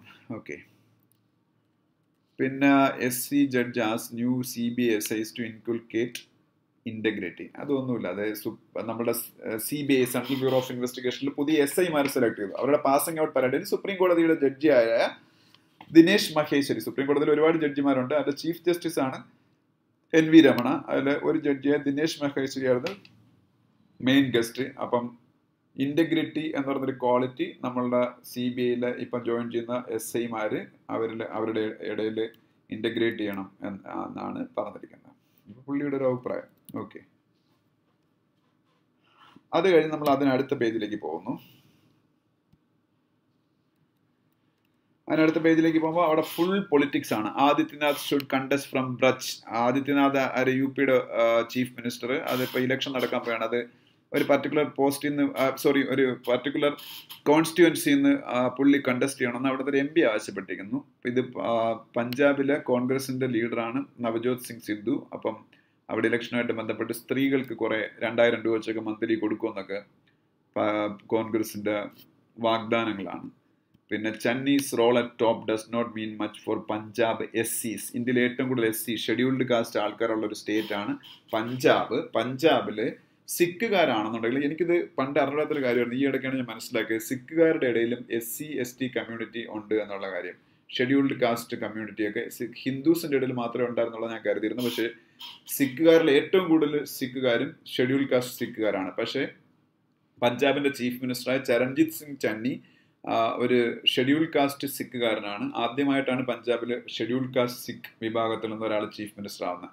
അങ്ങനെയൊക്കെ ആണെങ്കിലും അവിടുത്തെ ഷെഡ്യൂൾഡ് കാസ്റ്റുകളുടെ ഇടയിൽ ഒരു വലിയ ട്രാക്ഷൻ ഉണ്ടാകുന്ന രീതിയിൽ എന്തെങ്കിലും ഒരു റോൾ എടുക്കാൻ ചന്നിക്ക് ഇതുവരെയും കഴിഞ്ഞിട്ടില്ല. അതിനെക്കുറിച്ചുള്ള ഒരു അനാലിസിസ് ആണ്. ഓക്കെ പിന്നെ ഞാൻ പറഞ്ഞല്ലോ ഉത്തർപ്രദേശിൽ രണ്ടായിരത്തി പന്ത്രണ്ട് വരെ ഭരിച്ചിരുന്ന പാർട്ടിയായിരുന്നു ബി എസ് പി ആ ബി എസ് പി എന്ന് പറയുന്ന പാർട്ടി ഇപ്പോൾ അവിടെ ഇലക്ഷൻ ക്യാമ്പയിനിങ്ങിന് പോലും ഇല്ലാത്തൊരവസ്ഥയാണ്. സോ ബി എസ് പി എന്താ പറയുന്നത് gradually disappearing from the political scenario of Uttar Pradesh. അതിൽ എം എൽ എമാരും എം പിമാരും ഒക്കെ ഇപ്പോൾ മറ്റ് പാർട്ടികൾ ജോയിൻ ചെയ്യുന്നു. അതിനെക്കുറിച്ചൊരു ന്യൂസാണ് Congress Uttarakhand theme song mocks twin engine model കോൺഗ്രസിന്റെ ഉത്തരാഖണ്ഡിൽ ഇലക്ഷൻ ക്യാമ്പയിനിങ് സ്റ്റാർട്ട് ചെയ്തതിനെ കുറിച്ചാണ്. ഇലക്ഷൻ ഉത്തരാഖണ്ഡിലും പഞ്ചാബിലും യു പിയിലും മണിപ്പൂരിലും ഗോവയിലും ഈ അഞ്ച് സ്ഥലങ്ങളിൽ ഇലക്ഷൻ നോട്ടിഫിക്കേഷൻ ഉടനെ വരും. Uttarakhand U P Goa Manipur Punjab. ഈ അഞ്ച് സ്റ്റേറ്റുകളിലെ ഇലക്ഷൻ ഉടനെ നടക്കും. മിക്കവാറും എനിക്കൊന്ന് ഈ മാസം തന്നെ അതിന്റെ നോട്ടിഫിക്കേഷൻ വരാൻ ചാൻസ് ഉണ്ട്. പിന്നെ Adityanath take sports shots at Rahul. Rahul ഗാന്ധിയെ യോഗി ആദിത്യനാഥ് ഉത്തർപ്രദേശിന്റെ ചീഫ് മിനിസ്റ്റർ ക്രിട്ടിസൈസ് ചെയ്യുന്നതിനെ കുറിച്ചൊരു ന്യൂസാണ് പിന്നെ ദാ ഇവിടെ നിങ്ങൾക്ക് സത്യപാൽ മാലിക്കിന്റെ ഒരു ഫോട്ടോ കാണാം. ഇരിക്കുന്ന ആ വയസ്സായ ആൾ സത്യപാൽ മാലിക്കാണ്. സത്യപാൽ മാലിക് മേഘാലയയുടെ ഗവർണറാണ് അപ്പൊ മേഘാലയയുടെ ഗവർണറായ സത്യപാൽ മാലിക് നരേന്ദ്രമോദി ഇന്ത്യയുടെ പ്രൈം മിനിസ്റ്ററിനെ വളരെ ക്രിട്ടിക്കലായിട്ട് വിമർശിച്ചിരിക്കുകയാണ്. അപ്പം കർഷക പ്രക്ഷോഭമായിട്ട് ബന്ധപ്പെട്ട് ഫാമേഴ്സ് അജിറ്റേഷനുമായിട്ട് ബന്ധപ്പെട്ട് മോഡിയെ വളരെ സ്ട്രിക്റ്റ് ആയിട്ട് വളരെ നിശ്ചിതമായിട്ട് വിമർശിച്ചിരിക്കുകയാണ് സത്യപാൽ മാലിക്. ഏറ്റവും വലിയ കോമഡി സത്യപാൽ മാലിക്കിനെ മേഘാലയയുടെ ഗവർണറായിട്ട് അപ്പോയിന്റ് ചെയ്തത് ഇതേ മോഡിയാണ്. അപ്പോൾ ബി ജെ പിയിൽ നിന്ന് മിക്കവാറും പുറത്തു പോകാനുള്ളൊരു പ്ലാനാണെന്ന് തോന്നുന്നു സത്യപാൽ മാലിക്കിന്. കാരണം ബി ജെ പിയുടെ ഇപ്പോഴത്തെ ഏറ്റവും വലിയ ലീഡറായ മോഡിയെ ക്രിട്ടിസൈസ് ചെയ്തുകൊണ്ട് എന്തായാലും ബി ജെ പി തുടരാൻ പറ്റില്ലെന്ന് മാലിക്കിന് തന്നെ അറിയാം. So he's having some plans in his mind to switch over to other parties അത് ആണ്. ഓക്കെ പിന്നെ അതിനടുത്ത പേജിലേക്ക് പോകുമ്പോൾ thirty three thousand new cases in India all states record rise rise എന്ന് പറഞ്ഞൊരു ന്യൂസ് കാണാം. അത് കോവിഡ് കേസസിനെ കുറിച്ചാണ്. കോവിഡ് കേസസ് ഇന്ത്യയിൽ മുപ്പതിനായിരം ക്രോസ് ചെയ്തിരിക്കുന്നു. Covid cases day by day ten thousand വെച്ച് ഇന്ത്യയിൽ കൂടിക്കൊണ്ടിരിക്കുകയാണ്. അപ്പോൾ ഒരു ലക്ഷം കേസസ് ഒക്കെ ആവാൻ ഒരുപാട് സമയമൊന്നും വേണ്ടി വരത്തില്ല. അപ്പം thirty three thousand new cases ഇന്ത്യയിൽ റെക്കോർഡ് ചെയ്തിരിക്കുകയാണ് എന്നുള്ളൊരു ന്യൂസാണ് എല്ലാ സ്റ്റേറ്റുകളിലും കൂടുതൽ കേസസ് റെക്കോർഡ് ചെയ്തിരിക്കുന്നു. പിന്നെ allegations on expiry of vaccines are false government അത് സംഭവം എന്താണെന്ന് വെച്ചാൽ കോവിഷീൽഡും കോവാക്സിനും പോലുള്ള vaccines especially Covaxin expiry date കഴിഞ്ഞതിന് ശേഷം ആൾക്കാരിൽ അത് കുത്തിവെച്ചു എന്നൊരു ആരോപണം വന്നു. അപ്പോൾ ഗവൺമെന്റ് അതിന് സ്ട്രോങ് ആയിട്ട് റെഫ്യൂട്ട് ചെയ്തിരിക്കുകയാണ് ആ ഒരു അലിഗേഷന് അത് വെറുതെ പറയുന്നതാണ് എക്സ്പയറി കഴിഞ്ഞ വാക്സിൻസ് യൂസ് ചെയ്തിട്ടില്ലെന്നാണ് പറയുന്നത്. പിന്നെ S C tells government to decide on repatriation of woman child അത് മലയാളിയായ ഒരു പെൺകുട്ടി അഫ്ഗാനിസ്ഥാനിൽ പോയി. ഇപ്പം അഫ്ഗാനിസ്ഥാൻ മലയാളിലെ ഒരു പെൺകുട്ടിയൊന്നുമല്ല. സോണിയ സെബാസ്റ്റ്യനും അതുപോലെ തിരുവനന്തപുരത്ത് പിന്നീട് നമ്മളുടെ ആറ്റുകാൽ ക്ഷേത്രത്തിനടുത്തുള്ള ഒരു പെൺകുട്ടിയൊക്കെ സിറിയയിലും അഫ്ഗാനിസ്ഥാനിലൊക്കെ പോയി ഐ എസ് ട്രൂപ്പുകൾക്കൊപ്പം പോരാടാനൊക്കെ ആയിരുന്നു പിന്നീട് അവരുടെ പ്ലാൻ. അതിൽ അവരുടെ ഭർത്താക്കന്മാരൊക്കെ മരിച്ചു ഇപ്പം അഫ്ഗാനിസ്ഥാനിൽ അവരുണ്ട് അഫ്ഗാനിസ്ഥാനിൽ ഇപ്പോൾ താലിബാൻ ഭരണം ടേക്ക് ഓവർ ചെയ്തപ്പോൾ ഇവർ ഇവരെ ജീവൻ ഏത് നിമിഷം മുതൽ നഷ്ടപ്പെടാവുന്ന അവസ്ഥയാണ് അതുകൊണ്ട് അവരുടെ പേരൻസ് സുപ്രീം കോടതിയിലൊക്കെ ഇപ്പോൾ കേസ് ഫയൽ ചെയ്തിരിക്കുകയാണ്. ഇന്ത്യ ഗവൺമെന്റിനെ കൊണ്ട് അവരെ തിരികെ കൊണ്ടുവരിക്കാൻ വേണ്ടിയിട്ടുണ്ട്. അതുകൊണ്ട് സുപ്രീം കോടതി ഗവൺമെന്റ് ഓഫ് ഇന്ത്യയോട് പറഞ്ഞിരിക്കുന്നു ഈ സ്ത്രീകളെ റീപാട്രിയേഷൻ എന്ന് പറഞ്ഞാൽ അവർ തിരികെ എത്തിക്കുന്നതിനെയാണ് അങ്ങനെ പറയുന്നത് വേറെ രാജ്യത്ത് നിന്ന്. ഈ വാക്കിന്റെ മീനിങ് അങ്ങനെയാണ്. ഒരു കൺട്രിയിൽ നിന്ന് വേറൊരു കൺട്രിയിലേക്ക് സ്വന്തം രാജ്യത്തേക്ക് തിരിച്ചു കൊണ്ടുവരുന്നതിനാണ് റീപാട്രിയേഷൻ എന്ന് പറയുന്നത്. വേറൊരു കൺട്രിയിൽ താമസിക്കുന്ന ആൾക്കാർ സ്വന്തം കൺട്രിയിലേക്ക് തിരികെ കൊണ്ടുവരുന്നതിനാണ് റീപാട്രിയേഷൻ എന്ന് പറയുന്നത്. അപ്പം അവരെ തിരികെ കൊണ്ടുവരുന്നതിനെ കുറിച്ച് ഗവൺമെന്റ് ഡിസൈഡ് ചെയ്യാനേ സുപ്രീം കോടതി പറഞ്ഞിട്ടുള്ളൂ. ഗവൺമെന്റ് അടുത്ത് കൊണ്ടുവരാൻ പറയാൻ സുപ്രീം കോടതിക്ക് ഒരിക്കലും പറ്റത്തില്ല. ഗവൺമെന്റ് കൊണ്ടുവരില്ല എന്നൊരു സ്റ്റാൻഡ് എടുത്താൽ അത് ഗവൺമെന്റിന്റെ സ്റ്റാൻഡാണ് അവിടെ വിജയിക്കുന്നത്. കാരണം അവർക്കെതിരെ ഇന്ത്യയിൽ കുറെ കേസസ് ഉണ്ട്. അപ്പം അതുകൊണ്ട് തന്നെ ഗവൺമെന്റ് മിക്കവാറും കൊണ്ടുവരില്ല എന്നൊരു സ്റ്റാൻഡ് എടുക്കാനേ ചാൻസ് ഉള്ളൂ. സുപ്രീം കോടതി അവരോട് ഡിസിഷൻ എടുക്കാൻ പറഞ്ഞേക്കാണ്. പിന്നെ S C tell step states to step up vaccination drive എന്നൊരു ന്യൂസ് വേണം. ഇന്ത്യയിൽ എല്ലാ സ്റ്റേറ്റുകളോട് എസ്പെഷ്യലി ഇലക്ഷൻ നടക്കാൻ പോകുന്ന സ്റ്റേറ്റുകളോടാണ് പ്രത്യേകിച്ച് പറഞ്ഞിരിക്കുന്നത്. വാക്സിനേഷൻ ഡ്രൈവ് ഭയങ്കര ഫാസ്റ്റ് ആക്കുക. ഇലക്ഷൻ ഒഫീഷ്യൽസിനെല്ലാം കോവിഡ് ടു ഡോസസും കൊടുക്കുക. അപ്പം ഒരു ബൂസ്റ്റർ ഡോസ് കൂടെ കൊടുക്കാനാണ് പറഞ്ഞേക്കുന്നത് ഇലക്ഷൻ കമ്മീഷൻ കാര്യം ഇലക്ഷൻ തുടങ്ങുമ്പോൾ ഇവരെല്ലാവരും പിന്നീട് സാധാരണ ജനങ്ങൾക്കും അതേപോലെ ഇലക്ഷൻ ഒഫീഷ്യൽസിനും ഒക്കെ വാക്സിനേഷൻ ഇല്ലെന്നുണ്ടെങ്കിൽ അത് പ്രോബ്ലം ഉണ്ടാവും. പ്രത്യേകിച്ച് ഇപ്പോൾ വീണ്ടും തേർഡ് വേവ് ഒക്കെ സ്റ്റാർട്ട് ചെയ്യാണ്. പിന്നെ let woman women M Ps testify before panel on marriage age Dev അത് സുസ്മിത ദേവ് എന്ന് പറഞ്ഞ ഒരു എം പി മാത്രമേ ഉള്ളൂ. നമ്മളുടെ child marriage അമെൻമെന്റ് bill two thousand twenty one പാർലമെന്റിൽ അവതരിപ്പിച്ചു. Child marriage bill അമെൻമെന്റ് bill two thousand twenty one അവതരിപ്പിച്ചിട്ട് പതിനെട്ട് വയസ്സെന്നുള്ള മാരേജ് പ്രായം ഇരുപത്തൊന്ന് വയസ്സായിട്ട് പെൺകുട്ടികളുടെ മാറ്റാൻ പോയാണ്. ലോക്സഭയിൽ അത് പാസ്സായി. രാജ്യസഭയിൽ പാസ്സാവുന്നതിന് മുമ്പ് ഒരു കമ്മിറ്റിക്ക് വിടാൻ തീരുമാനിച്ചു. ആ കമ്മിറ്റിയിൽ ആകെ ഒരു സ്ത്രീ എം പി മാത്രമേ ഉള്ളൂ എന്നുള്ളത് ഒരു ക്രിറ്റിസിസത്തിന് വിധേയമായിരിക്കുകയാണ്. അതിനെക്കുറിച്ചൊരു ന്യൂസാണിത്. പിന്നെ police inaction has emboldened goon says a women who faced online auction അത് മറ്റേ ഞാൻ നേരത്തെ പറഞ്ഞ ആപ്പിനെ കുറിച്ചുള്ള ന്യൂസാണ് അവിടെ ഒന്നും പറയാനൊന്നുമില്ല. ഓക്കെ പിന്നെ നമ്മൾ വേൾഡ് പേജിലേക്ക് പോകുമ്പോൾ വേൾഡ് പേജിൽ അറിഞ്ഞ് അറിയേണ്ട ഒരു വലിയ ന്യൂസ് ഉണ്ട്. സുഡാന്റെ പ്രൈം മിനിസ്റ്റർ ഹംദോക്ക് റിസൈൻ ചെയ്തു. സുഡാന്റെ പ്രൈം മിനിസ്റ്റർ സുഡാൻ. സുഡാൻ എന്ന് പറയുന്നത് ആഫ്രിക്കയിലെ ഒരു കൺട്രിയാണ് സുഡാൻ ആഫ്രിക്കയിൽ രണ്ട് സുഡാൻ ഉണ്ട് സുഡാൻ ഞാൻ ബാങ്ക് ടെസ്റ്റ് എഴുതുന്ന സമയത്ത് ഞാൻ സെൻട്രൽ ഗവൺമെന്റ് ടെസ്റ്റുകൾ എഴുതുന്ന സമയത്ത് ഒറ്റ സുഡാനേ ഉള്ളായിരുന്നു. അത് അൺഡിവൈഡഡ് സുഡാൻ ആയിരുന്നു ഒമർ അൽ ബഷീർ ആയിരുന്നു ആ സുഡാന്റെ president Omar al Bashir Omar al Bashir. ഈ ഒമർ അൽ ബഷീർ സുഡാൻ ഭരിക്കുന്ന സമയത്ത് ക്രിസ്ത്യാനിറ്റിക്ക് ഭൂരിപക്ഷമുള്ള സുഡാന്റെ ഭാഗമായ സൗത്ത് സുഡാനിലുള്ള ആൾക്കാരും മുസ്ലിംസിന് ഭൂരിപക്ഷ സുഡാനിലെ ഭൂരിപക്ഷമുള്ള പ്രദേശത്തുള്ള ആൾക്കാർ തങ്ങളിൽ ഭയങ്കര വാർ ഉണ്ടാവുകയും ഇന്റേണൽ വാറിൽ ഒരുപാട് ക്രിസ്ത്യൻസ് ഒക്കെ കില്ല് ചെയ്യപ്പെടുകയൊക്കെ ചെയ്തു. അങ്ങനെ ക്രിസ്ത്യൻ മേഖല ആയിട്ടുള്ള ആ ഭാഗത്തുള്ള സുഡാൻ ഒരു സെപ്പറേറ്റ് രാജ്യമാകാൻ തീരുമാനിക്കുകയും സെപ്പറേറ്റ് രാജ്യമായി മാറുകയും ചെയ്തു. അങ്ങനെ വേൾഡിൽ സൗത്ത് സുഡാൻ എന്ന് പറയുന്ന ഒരു സെപ്പറേറ്റ് കൺട്രി ഉണ്ടായി. ഇപ്പോൾ സൗത്ത് സുഡാൻ വേൾഡിൽ one of the youngest countries ആണ്. ലോകത്ത് ഏറ്റവും അവസാനമുണ്ടായ പുതിയ രാജ്യങ്ങളിൽ ഒരെണ്ണമാണ് സൗത്ത് സുഡാൻ. അപ്പം ആ സുഡാന്റെ കാര്യമല്ല ഞാൻ പറയുന്നത്. South Sudan is a separate country സാധാ ബാക്കിയുള്ള സുഡാൻ. ആ സുഡാനിൽ ഒമർ അൽ ബഷീർ തന്നെ പിന്നെയും ഭരണത്തിൽ തുടർന്നു. ആ ഒമർ അൽ ബഷീറിനെ പട്ടാള അട്ടിമറിയിൽ കൂടി മിലിറ്ററി കൂപ്പിൽ കൂടി പുറത്താക്കി. അതിനുശേഷം അവിടെ പുതിയ പ്രൈം മിനിസ്റ്ററും പ്രസിഡന്റും ഒക്കെ ഉണ്ടായി. അവിടുത്തെ ഇപ്പോഴത്തെ president general Abdel Fattah al Burhan ആണ് general Abdel Fattah al Burhan അവിടുത്തെ പ്രസിഡന്റ്. അവിടുത്തെ പ്രൈം മിനിസ്റ്റർ ആണ് ഇപ്പൊ പറഞ്ഞ ഈ ഫോട്ടോയിൽ കാണുന്ന അബ്ദുള്ള ഹംദോക്ക്. ഈ Abdullah Hamdok is a civilian നമ്മളെപ്പോലെ എന്നെപ്പോലെ എന്നെ പോലെ നിങ്ങളെ പോലത്തെ ഒരു സാധാരണക്കാരനാണ്. അദ്ദേഹമാണ് അവിടുത്തെ പ്രൈം മിനിസ്റ്റർ ആയത്. പക്ഷേ പ്രസിഡന്റ് എന്ന് പറയുന്നത് അവിടുത്തെ പട്ടാള മേധാവിയാണ്. അവർ തങ്ങളുടെ ഫ്രിക്ഷൻസ് മൂലം ഇപ്പം സുദാ സുഡാന്റെ പ്രൈം മിനിസ്റ്റർ അബ്ദുള്ള ഹംദോക്ക് എന്ന് പറയുന്ന സിവിലിയൻ പ്രൈം മിനിസ്റ്റർ റിസൈൻ ചെയ്തു. സോ എന്റെ power is concentrated in the military അല്ലെങ്കിൽ military ruler Abdel Fattah al ബുർഹാന്റെ കയ്യിലാണ്. ഇപ്പൊ അതിനെ അഗേൻസ്റ്റ് അവിടെ വലിയ പ്രക്ഷോഭങ്ങൾ നടന്നുകൊണ്ടിരിക്കുകയാണ്. അവിടെ മിലിറ്ററി ടേക്ക് ഓവറിൽ പ്രതിഷേധിച്ച്. ഓക്കെ പിന്നെ string of attacks marks anniversary of Iran general killing in U S strike കഴിഞ്ഞ വർഷം ഏതാണ്ട് ഇതേ സമയത്ത് ഏതാണ്ട് ഇതേ സമയത്തല്ല ഈ സമയത്ത് ഡൊണാൾഡ് ട്രംപ് ആയിരുന്നു യു എസിന്റെ പ്രസിഡന്റ്. അവിടെ എന്ത് ചെയ്തെന്ന് വെച്ചാൽ അപ്പം അദ്ദേഹം ഇറാൻ അഗെയിൻസ്റ്റ് ആയിട്ട് സ്ട്രോങ് ആയിട്ടുള്ള സ്റ്റാൻഡ് എടുത്തിരുന്ന ഒരു അമേരിക്കൻ പ്രസിഡന്റ് ആയിരുന്നു. അപ്പം ഇറാന്റെ ഒരു വലിയ പട്ടാളത്തിന്റെ ഒരു വലിയ ലീഡർ ആയിരുന്ന ജനറൽ ഖാസിം സുലൈമാനിയെ ഒരു എയർ അറ്റാക്കിൽ അമേരിക്ക കില്ല് ചെയ്തു. അപ്പൊ അതിന്റെ വാർഷികമായിരുന്നതല്ല ജനറൽ കാസിം സുലൈ സുലൈമാനി എന്ന് പറയുന്ന ഇറാന്റെ ജനറലിന്റെ കില്ലിങ്ങിന്റെ വാർഷികമായിരുന്നു. അപ്പം ഇന്നലെ കുറെ പ്രശ്നങ്ങളുണ്ടായി. യമൻ എന്ന് പറയുന്ന രാജ്യത്ത് ഇറാനെ സപ്പോർട്ട് ചെയ്യുന്ന ഹൂത്തി റബൽസ് ആണ് അവിടുത്തെ കുറേ മേഖല ഭരിക്കുന്ന. അവർ റെഡ് സീയിൽ ഒരു ഷിപ്പിന് നേരെ അറ്റാക്ക് നടത്തി ബാഗ്ദാദിന് നേരെ കുറേ അറ്റാക്ക് ബാഗ്ദാദ് എന്ന് പറഞ്ഞാൽ ഇറാന്റെ ഇറാഖിന്റെ ക്യാപിറ്റലാണ് ഇറാഖിന്റെ ക്യാപിറ്റലായ ബാഗ്ദാദിന് നേരെ കുറേ അറ്റാക്സ് നടന്നു. അങ്ങനെ കുറേ അറ്റാക്സ് വേൾഡ് വൈഡ് ആയിട്ട് നടന്നു. ഇറാന്റെ president Ebrahim Raisi U S president ആയിരുന്ന ഡൊണാൾഡ് ട്രംപിനെ പ്രോസിക്യൂട്ട് ചെയ്ത് കില്ല് ചെയ്യണമെന്ന് ആവശ്യപ്പെട്ടിരിക്കുകയാണ്. കാരണം ഈ ട്രംപാണ് ജനറൽ ഖാസിം സുലൈമാനി എന്ന് പറഞ്ഞ അവരുടെ ജനറലിനെ കില്ല് ചെയ്തത്. ഇറാന്റെ പ്രസിഡന്റ് ഇപ്പോഴത്തെ പ്രസിഡന്റ് ആരാണ്? ഇബ്രാഹിം റൈസി ഇറാന്റെ ഇപ്പോഴത്തെ പ്രസിഡന്റായ ഇബ്രാഹിം റൈസി ട്രംപിനെ കില്ല് ചെയ്യണമെന്ന് പറഞ്ഞിരിക്കുകയാണ്. അപ്പോൾ ഇതൊക്കെ ഇന്നലെ നടന്ന സംഭവങ്ങളാണ് ആ ഒരു വാർഷികത്തിൽ പിന്നെ സൗത്ത് ആഫ്രിക്കയുടെ പാർലമെന്റ് ബിൽഡിംഗ് ഇന്നലെ കേപ്പ് ടൗണിലെ പാർലമെന്റ് ബിൽഡിങ് ഫയറിൽ കത്തി നശിച്ചു പോയത് ഞാൻ പറഞ്ഞായിരുന്നു. അത് ഒരാളിനെ അതിന്റെ പേരിൽ അറസ്റ്റ് ചെയ്തിരിക്കുകയാണ്. പിന്നെ യു എസിൽ ടീനേജേഴ്സിനും ബൂസ്റ്റർ ഡോസ് കൊടുക്കാൻ തീരുമാനിച്ചു. ഇവിടെ ഇപ്പം നമ്മൾ അഡൾട്ട്സിന് മാത്രമേ ബൂസ്റ്റർ ഡോസ് കൊടുക്കുന്നുണ്ട് കൊടുക്കുന്നുള്ളൂ. അവിടെ പന്ത്രണ്ട് വയസ്സ് തൊട്ടുള്ള കുട്ടികൾക്ക് ബൂസ്റ്റർ ഡോസ് കൊടുക്കാൻ തീരുമാനിച്ചതിനെ കുറിച്ചുള്ള ന്യൂസാണ്. ഇവിടെ ഹോസ്പിറ്റലൈസ് ചെയ്ത് കിടക്കുന്ന ഒരാളുടെ ഫോട്ടോ കാണാം. ഇത് ബ്രസീലിന്റെ പ്രസിഡന്റ് ആണ് ബ്രസീലിന്റെ president Jair Bolsonaro was hospitalised. Due to abdominal pain അപ്പൊ അങ്ങനെ എഴുതിയേക്കണ്ട.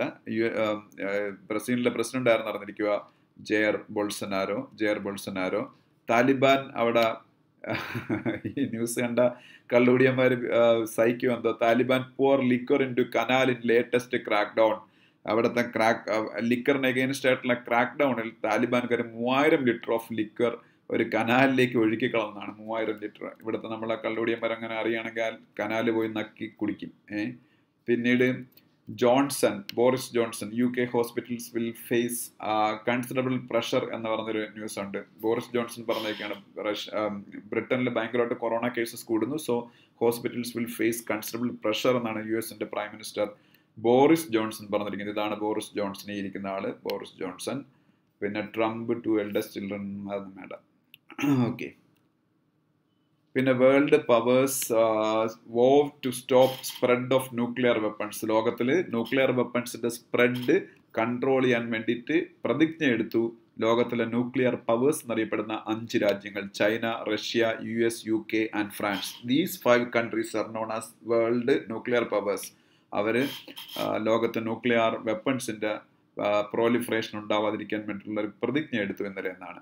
ഇന്നലെ അങ്ങനെ ഒരു പ്രതിജ്ഞ എടുക്കാനുള്ള കാരണം ഇവിടെ ഇവിടെ കൊടുത്തിട്ടുണ്ട്. ഒരു ന്യൂക്ലിയർ കോൺഫറൻസ് നടക്കേണ്ടതായിരുന്നു. അത് കൊറോണ മൂലം മാറ്റി വെച്ചു. അതുകൊണ്ടാണ് ഇന്നലെ അവർ അങ്ങനെ ഒരു പ്രതിജ്ഞ എടുത്തത്. ന്യൂക്ലിയർ സെക്ടറിൽ ലോകത്തിൽ അതിനു വേണ്ടിയിട്ടുള്ള ന്യൂക്ലിയർ ആയുധങ്ങളുടെ വ്യാപനമൊക്കെ തടയുന്നതിന് വേണ്ടിയിട്ടുള്ള ബോഡിയുടെ പേര് ഐ എ ഇ എ എന്നാണ്. അത് യു എന്നിന്റെ ബോഡിയാണ്. I A E A. I A ഇയുടെ expansion international atomic energy agency I A ഇയുടെ expansion international atomic energy agency international atomic energy agency is headquartered in Vienna ഓസ്ട്രിയയുടെ ക്യാപിറ്റലായ വിയന്നയിലാണ് I A ഇയുടെ headquarters Austria എന്ന് പറഞ്ഞ രാജ്യത്തിന്റെ ക്യാപിറ്റലായ വിയന്നയിലാണ് ഐ എ ഇയുടെ ഹെഡ്ക്വാർട്ടേഴ്സ് എൻ പി ടി എന്ന് പറയുന്ന അബ്രിവേഷൻ ഇവിടെ കാണാം. അത് ന്യൂക്ലിയർ സെക്ടറിൽ ഏറ്റവും പ്രധാനപ്പെട്ട ഒരു എഗ്രിമെന്റ് ആണ്. അതിന്റെ എക്സ്പാൻഷൻ നോൺ പ്രോലിഫറേഷൻ ട്രീറ്റി എന്നാണ് N P T non proliferation treaty അതൊക്കെ എന്താണെന്ന് എനിക്ക് അറിയാം പറഞ്ഞുകൊണ്ടിരിക്കാൻ ഇപ്പോൾ സമയമില്ലാത്തതുകൊണ്ട് ഞാൻ തൽക്കാലം പോവുകയാണ്. എൻ പി ടിയുടെ എക്സ്പാൻഷൻ നോൺ പ്രോലിഫറേഷൻ ട്രീറ്റി ആണെന്ന് അറിഞ്ഞിരിക്കുക. പിന്നീട് ബിസിനസ് പേജിലേക്ക് പോകുമ്പോൾ ഇന്ത്യയുടെ ഡിസംബറിലെ എക്സ്പോർട്ട് സർവകാല റെക്കോർഡിലെത്തി ഇന്ത്യ ഇതുവരെ ഇത്രയും എക്സ്പോർട്ട് ഒരു മാസം നടത്തിയിട്ടില്ല. ഡിസംബറിൽ മാത്രം India thirty seven point three billion ഡോളേഴ്സിന്റെ export നടത്തി എന്നൊരു news thirty seven point three billion ഡോളേഴ്സിന്റെ export ഇന്ത്യയുടെ ഹിസ്റ്ററിയിൽ ഒരു മന്തിൽ റെക്കോർഡ് ചെയ്യുന്നത് ഫോർ ദ ഫസ്റ്റ് ടൈം ആണ്. So it is a record okay അപ്പോൾ അത് പീയൂഷ് ഗോയലാണ് ഇന്ത്യയുടെ പറഞ്ഞിരിക്കുന്നത്. Commerce and industry minister of India Piyush Goyal. Commerce and industries minister of India Piyush Goyal. അറിഞ്ഞിരിക്കുക. അതുപോലെ ഇന്ത്യയുടെ ജോബ്ലെസ് റേറ്റ് ഇന്ത്യയുടെ സെവൻ പോയിന്റ് നയൻ പെർസെന്റേജ് ആയിട്ട് ഇൻക്രീസ് ചെയ്യുന്ന ഒരു ന്യൂസ് കാണാം. അതൊന്നും ഒരിക്കലും എക്സാമിന് ചോദിക്കത്തില്ല. വേരിയിങ് ഫിഗർ ആണ്. അത് എപ്പോഴും മാറിക്കൊണ്ടിരിക്കുന്നതാണ്. കഴിഞ്ഞ മാസം സെവൻ പെർസെന്റേജ് ആയിരുന്നു. ഇപ്പോൾ അത് സെവൻ പോയിന്റ് നയൻ പെർസെന്റേജ് ആയിട്ട് കൂടി ജോബ്ലെസ് റേറ്റ് അത് കൊറോണയുടെ ഒക്കെ സിറ്റുവേഷൻ ആയതുകൊണ്ട് ഇനിയും കൂടാൻ സാധ്യതയുണ്ട്. പിന്നെ factory output rises at slower rate P M I P M I എന്താണ് പറഞ്ഞിരിക്കുക purchasing managers index purchasing managers index purchasing managers index P M I എന്ന് പറഞ്ഞാൽ ഇന്ത്യയുടെ മാനുഫാക്ചറിംഗ് സെക്ടറിന്റെ ഗ്രോത്ത് കാൽക്കുലേറ്റ് ചെയ്യുന്നതിനുള്ള ഒരു ഇൻഡെക്സ് ആണ്. P M I purchasing managers index is an index to calculate the growth rate of India's manufacturing sector അതുപോലെ Nomura എന്ന് പറയുന്നൊരു company Covid activity index എന്ന് പറയുന്ന ഇൻഡെക്സ് ഉണ്ടാക്കിയിട്ടുണ്ട്. അതിപ്പോൾ കോവിഡ് കാലമായിട്ടാണ് അങ്ങനെ ഇൻഡെക്സ് വന്നേക്കുന്നത്. അത് എന്താണ് അവർ കാൽക്കുലേറ്റ് ചെയ്യുന്നത് വെച്ചാൽ പോസ്റ്റ് പാൻഡമിക് എക്കണോമിക് ആക്ടിവിറ്റി അതായത് പാൻഡമിക് എന്ന് പറയുന്ന കൊറോണ വന്ന് മാറിയതിന് ശേഷമല്ല മാറിയിട്ടില്ല എന്നാലും റീ ഓപ്പൺ ചെയ്തല്ലോ. ഈ റീ ഓപ്പൺ ചെയ്തതിന് ശേഷമുള്ള നമ്മളുടെ എക്കണോമിക് ആക്ടിവിറ്റി എങ്ങനെയാണ് എന്ന് കാൽക്കുലേറ്റ് ചെയ്യുന്നതിന് വേണ്ടിയിട്ടാണ് ഇന്ത്യ ബിസിനസ് റിസംഷൻ ഇൻഡെക്സ് എന്ന് പറഞ്ഞൊരു സംഭവം ഉണ്ടാക്കി India business resumption index business വീണ്ടും റെസ്യൂം ചെയ്തു അല്ലെ? വീണ്ടും പുനരാരംഭിച്ചു റെസ്യൂം ചെയ്തതിന്റെ ബേസിൽ എങ്ങനെ തൊട്ട് മുന്നിൽ കൊറോണയ്ക്ക് മുമ്പുള്ള പീരീഡുമായിട്ട് കമ്പയർ ചെയ്യുമ്പോൾ എങ്ങനെയാണ് ആ റിസംഷൻ എന്ന് മനസ്സിലാക്കാനാണ് ഇന്ത്യ ബിസിനസ് റിസംഷൻ ഇൻഡെക്സ് ഉണ്ടാക്കിയത്. നൊമൂറയാണ് അത് ഉണ്ടാക്കിയിരിക്കുന്നത്. അത് വലിയൊരു ഗ്രോത്ത് ആണ് കാൽക്കുലേറ്റ് ചെയ്യുന്നത്. നൂറ്റി ഇരുപത് പോയിന്റ് മൂന്നാണ്. അത് കോവിഡ് ലെവലിനെക്കാളും പ്രീ കോവിഡ് ലെവലിനെക്കാളും അതായത് കോവിഡ് വരുന്നതിന് മുമ്പുള്ള ഒരു ലെവലിനെക്കാളും ഇരുപത് പോയിന്റ് മൂന്ന് ശതമാനം കൂടുതലാണ് ഇന്ത്യയുടെ. അപ്പൊ ബിസിനസ് റിസംഷൻ ഭയങ്കര സ്ട്രോങ് ആയിട്ട് നടക്കുന്ന എന്റെ അർത്ഥം. ബിസിനസ് റിസംഷൻ ഇൻഡെക്സ് പറയുന്നത്. പിന്നെ ഈ ഫ്യൂച്ചറും ആമസോണും തമ്മിലുള്ള പ്രശ്നം. ഞാൻ പലപ്പോഴും പറഞ്ഞിട്ടുള്ളതാണ് ബിഗ് ബസാർ ഉൾപ്പെടുന്ന ഫ്യൂച്ചർ ഗ്രൂപ്പിന് റിലയൻസിന് വിൽക്കാൻ വേണ്ടിയിട്ട് പോവുകയാണ്. അപ്പം അത് റിലയൻസിന്റെതായിട്ട് മാറും. അതിന് മുമ്പ് കുറച്ച് കേസസ് ആമസോൺ ആയിട്ടുണ്ട്. അത് സെറ്റിൽ ചെയ്യാനുള്ള ശ്രമത്തിലാണ് ഫ്യൂച്ചർ ഗ്രൂപ്പ് ഫ്യൂച്ചർ ഗ്രൂപ്പിന്റെതാണ് ബിഗ് ബസാറും സെൻട്രലും നീൽഗ്രീസും എല്ലാം ഇതെല്ലാം അംബാനിക്കുള്ളതായിട്ട് മാറാൻ ഇനി വലിയ താമസമൊന്നുമില്ല. അത് വിൽക്കാൻ പോയാണ്. പിന്നെ ഇന്ത്യ ഇസ്രായേലും talks for free trade agreement free trade agreement അല്ലെങ്കിൽ എഫ് ടി എ എന്താണെന്ന് അറിഞ്ഞിരിക്കുക? ഒരു രാജ്യം മറ്റൊരു രാജ്യവുമായിട്ടോ മറ്റൊരു രാജ്യത്തിന്റെ ഗ്രൂപ്പുമായിട്ടോ ഗ്രൂപ്പ് എന്ന് പറഞ്ഞാൽ ആസിയാൻ അല്ലെങ്കിൽ യൂറോപ്യൻ യൂണിയൻ ഇങ്ങനെയൊക്കെയുള്ള ഗ്രൂപ്പുകളുമായിട്ടോ ഒന്നുകിൽ അല്ലെങ്കിൽ മറ്റൊരു രാജ്യവുമായിട്ട് കച്ചവടം കുറച്ചുകൂടെ ബൂസ്റ്റ് ചെയ്യാനും കച്ചവടം കുറച്ചുകൂടെ ഈസി ആക്കാനും വേണ്ടി ഉണ്ടാക്കുന്ന എഗ്രിമെന്റുകൾ ആ പേര് തന്നെ ഉണ്ട് ഫ്രീ ട്രേഡ് സ്വതന്ത്ര വ്യാപാരം. സ്വതന്ത്രമായിട്ട് വ്യാപാരം ചെയ്യാൻ പറ്റുന്ന ഫ്രീ ആയിട്ട് ട്രേഡ് ചെയ്യാൻ പറ്റുന്ന ഒരു എഗ്രിമെന്റ് ഉണ്ടാക്കിയിട്ടുണ്ട്.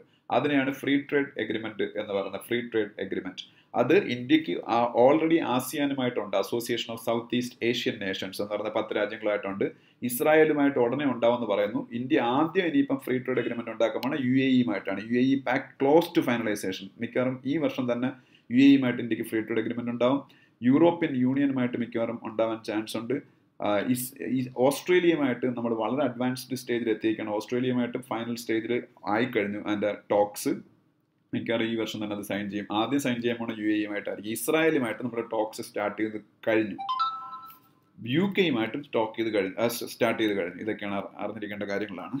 പിന്നെ India wants W T meet on covid package എന്നൊരു ന്യൂസ് കാണാം. അത് ഈ കോവിഡുമായിട്ട് ബന്ധപ്പെട്ട ഒരു പാക്കേജ് ഇന്ത്യ ഉൾപ്പെടെയുള്ള രാജ്യങ്ങൾ developing countries W T O world trade ഓർഗനൈസേഷനോട് ആവശ്യപ്പെട്ടിരിക്കുകയാണ് ഡബ്ല്യു ടി ഒ ആയിട്ട്. അപ്പം അതിന് അത് ആ കോവിഡ് പാക്കേജ് കൊടുക്കുന്നതിന് വേണ്ടി ഡബ്ല്യു ടി ഒയുടെ general body meeting general council meeting എത്രയും പെട്ടെന്ന് വിളിക്കണമെന്നാണ് ഇന്ത്യ ആവശ്യപ്പെട്ടിരിക്കുന്നത്. ഡബ്ല്യു ടിയുടെ ഹെഡ് ക്വാർട്ടേഴ്സ് ജനീവയിലാണ്. ഡബ്ല്യു ടിയുടെ ഹെഡ് ക്വാർട്ടേഴ്സ് എവിടെയാണ്?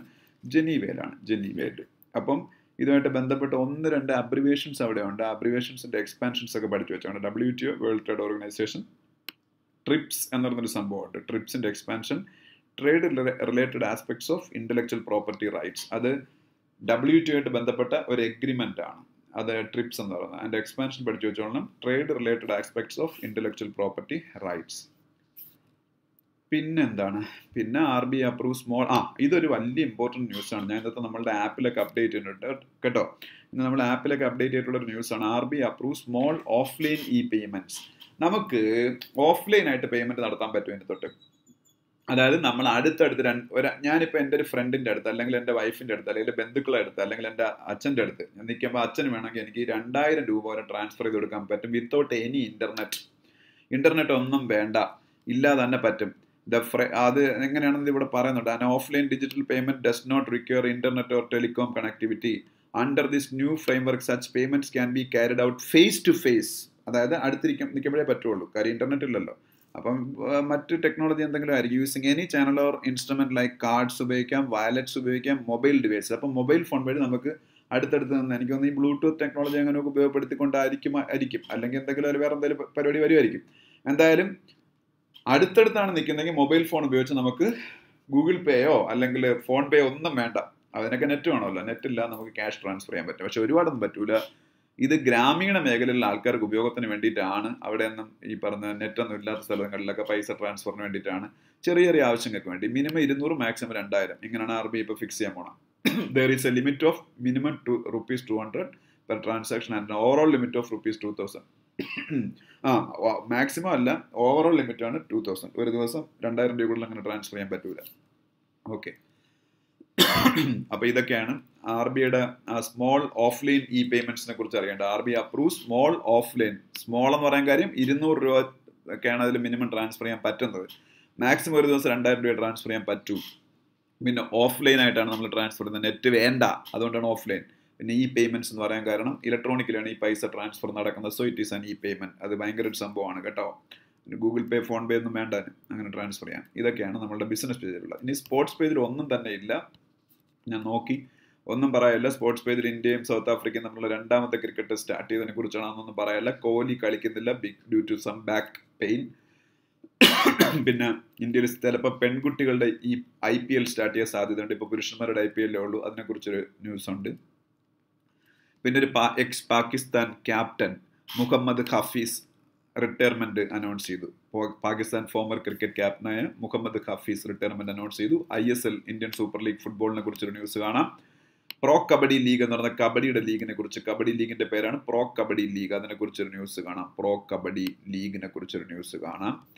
അത്രയൊക്കെയുള്ള ആ പേജിൽ അതിന്റെ അടുത്ത പേജിൽ ഇന്ത്യയുടെ ടേബിൾ ടെന്നീസ് ലീഗ് ലീഗായ യു ടി ടിയെ കുറിച്ചൊരു ന്യൂസ് കാണാം. ടേബിൾ ടെന്നീസിന്റെ ലീഗിന്റെ പേര് U T T. U T ടിയുടെ expansion ultimate table tennis U T T ultimate table tennis എന്ന് പറയുന്ന ഒരു ടേബിൾ ടെന്നീസ് ലീഗിനെ കുറിച്ച് കാണാം.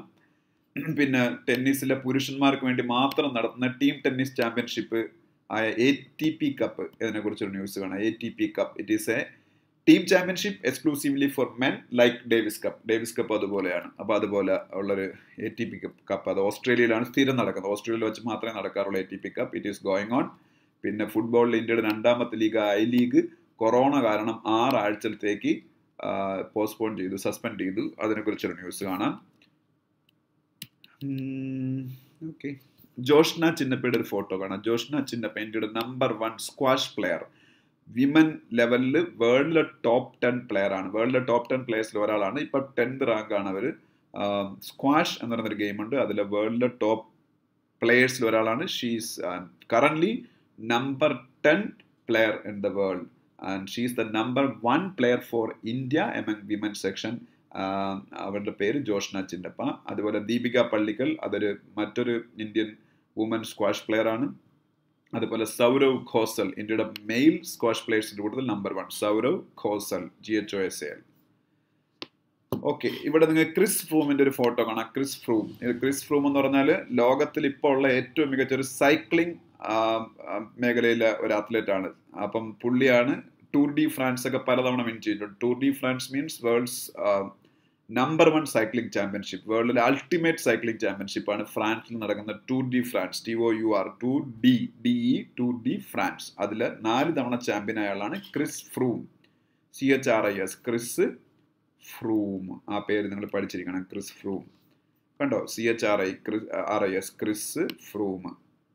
വേൾഡിലെ ഏറ്റവും മഹത്തായ cycling championship tour de France tour de France ഇത് നാല് തവണ വിൻ ചെയ്ത ആൾ. ഫോർ ടൈം ചെയ്തു ക്രിസ് ഫ്രൂം ഓക്കെ ഇത്രയേ ഉള്ളൂ ഇന്നത്തെ കറണ്ട് അഫയേഴ്സ് നമുക്ക് ഇന്നത്തെ കറണ്ട് അഫയേഴ്സ് തീർന്നിരിക്കുകയാണ്. നമുക്ക് നെക്സ്റ്റ് ഡേ നമുക്ക് അതായത് നാളെ വീണ്ടും കാണാം. ഞാൻ വളരെ ഫാസ്റ്റായിട്ട് ഡിസ്കസ് ചെയ്തിട്ട് പോലും വൺ അവറിൽ കൂടുതൽ എടുക്കുന്നുണ്ട്. എന്റെ അടുത്ത് പലരും സജസ്റ്റ് ചെയ്യുന്നത് ഈ ക്ലാസ്സിന്റെ നീളം കുറയ്ക്കണമെന്നാണ്. പക്ഷേ ഞാൻ ലൈവായിട്ട് നിങ്ങൾക്ക് എല്ലാവരും പഠിക്കാൻ വേണ്ടി ഈ പത്രം വായിക്കാൻ വേണ്ടിയിട്ടായി ക്ലാസ് എടുക്കുന്നത്. സോ എനിക്കത് കുറയ്ക്കുക എന്ന് പറയുന്നത് ഒരിക്കലും പോസിബിൾ അല്ല. ഓക്കെ പിന്നെ അതല്ലെങ്കിൽ പിന്നെ ഇതിന്റെ പോയിന്റ്സ് മാത്രം എടുത്ത് എനിക്ക് ഒരു ചെറിയ വീഡിയോ ഉണ്ടാക്കി എല്ലാ ദിവസവും പോസ്റ്റ് ചെയ്യാം. പക്ഷെ അങ്ങനെ ആകുമ്പോൾ അത് reading point of view okay അല്ല. ഞാനിത് current affairs point of view അല്ലത് പറയുന്നത്. റീഡിംഗ് പോയിന്റ് ഓഫ് വ്യൂലാണ് ഇംഗ്ലീഷ് എക്സാം ക്ലിയർ ആവാൻ വേണ്ടിയുള്ള പോയിന്റ് ഓഫ് വ്യൂലും ഒപ്പം കറണ്ട് അഫയേഴ്സ് ഒത്തിരി ഞാൻ പറയുന്നുണ്ട്. അപ്പോൾ രണ്ടും വേണം എനിക്ക്. അതിനുവേണ്ടിയിട്ടാണ് ഇത്രയും വലിയൊരു ലൈവ് ക്ലാസ് എടുക്കുന്നത്.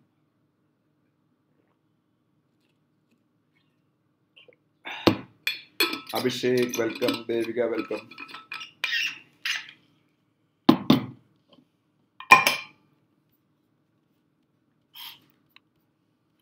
okay അപ്പം നമുക്ക് വീണ്ടും നാളെ കാണാം. ബൈ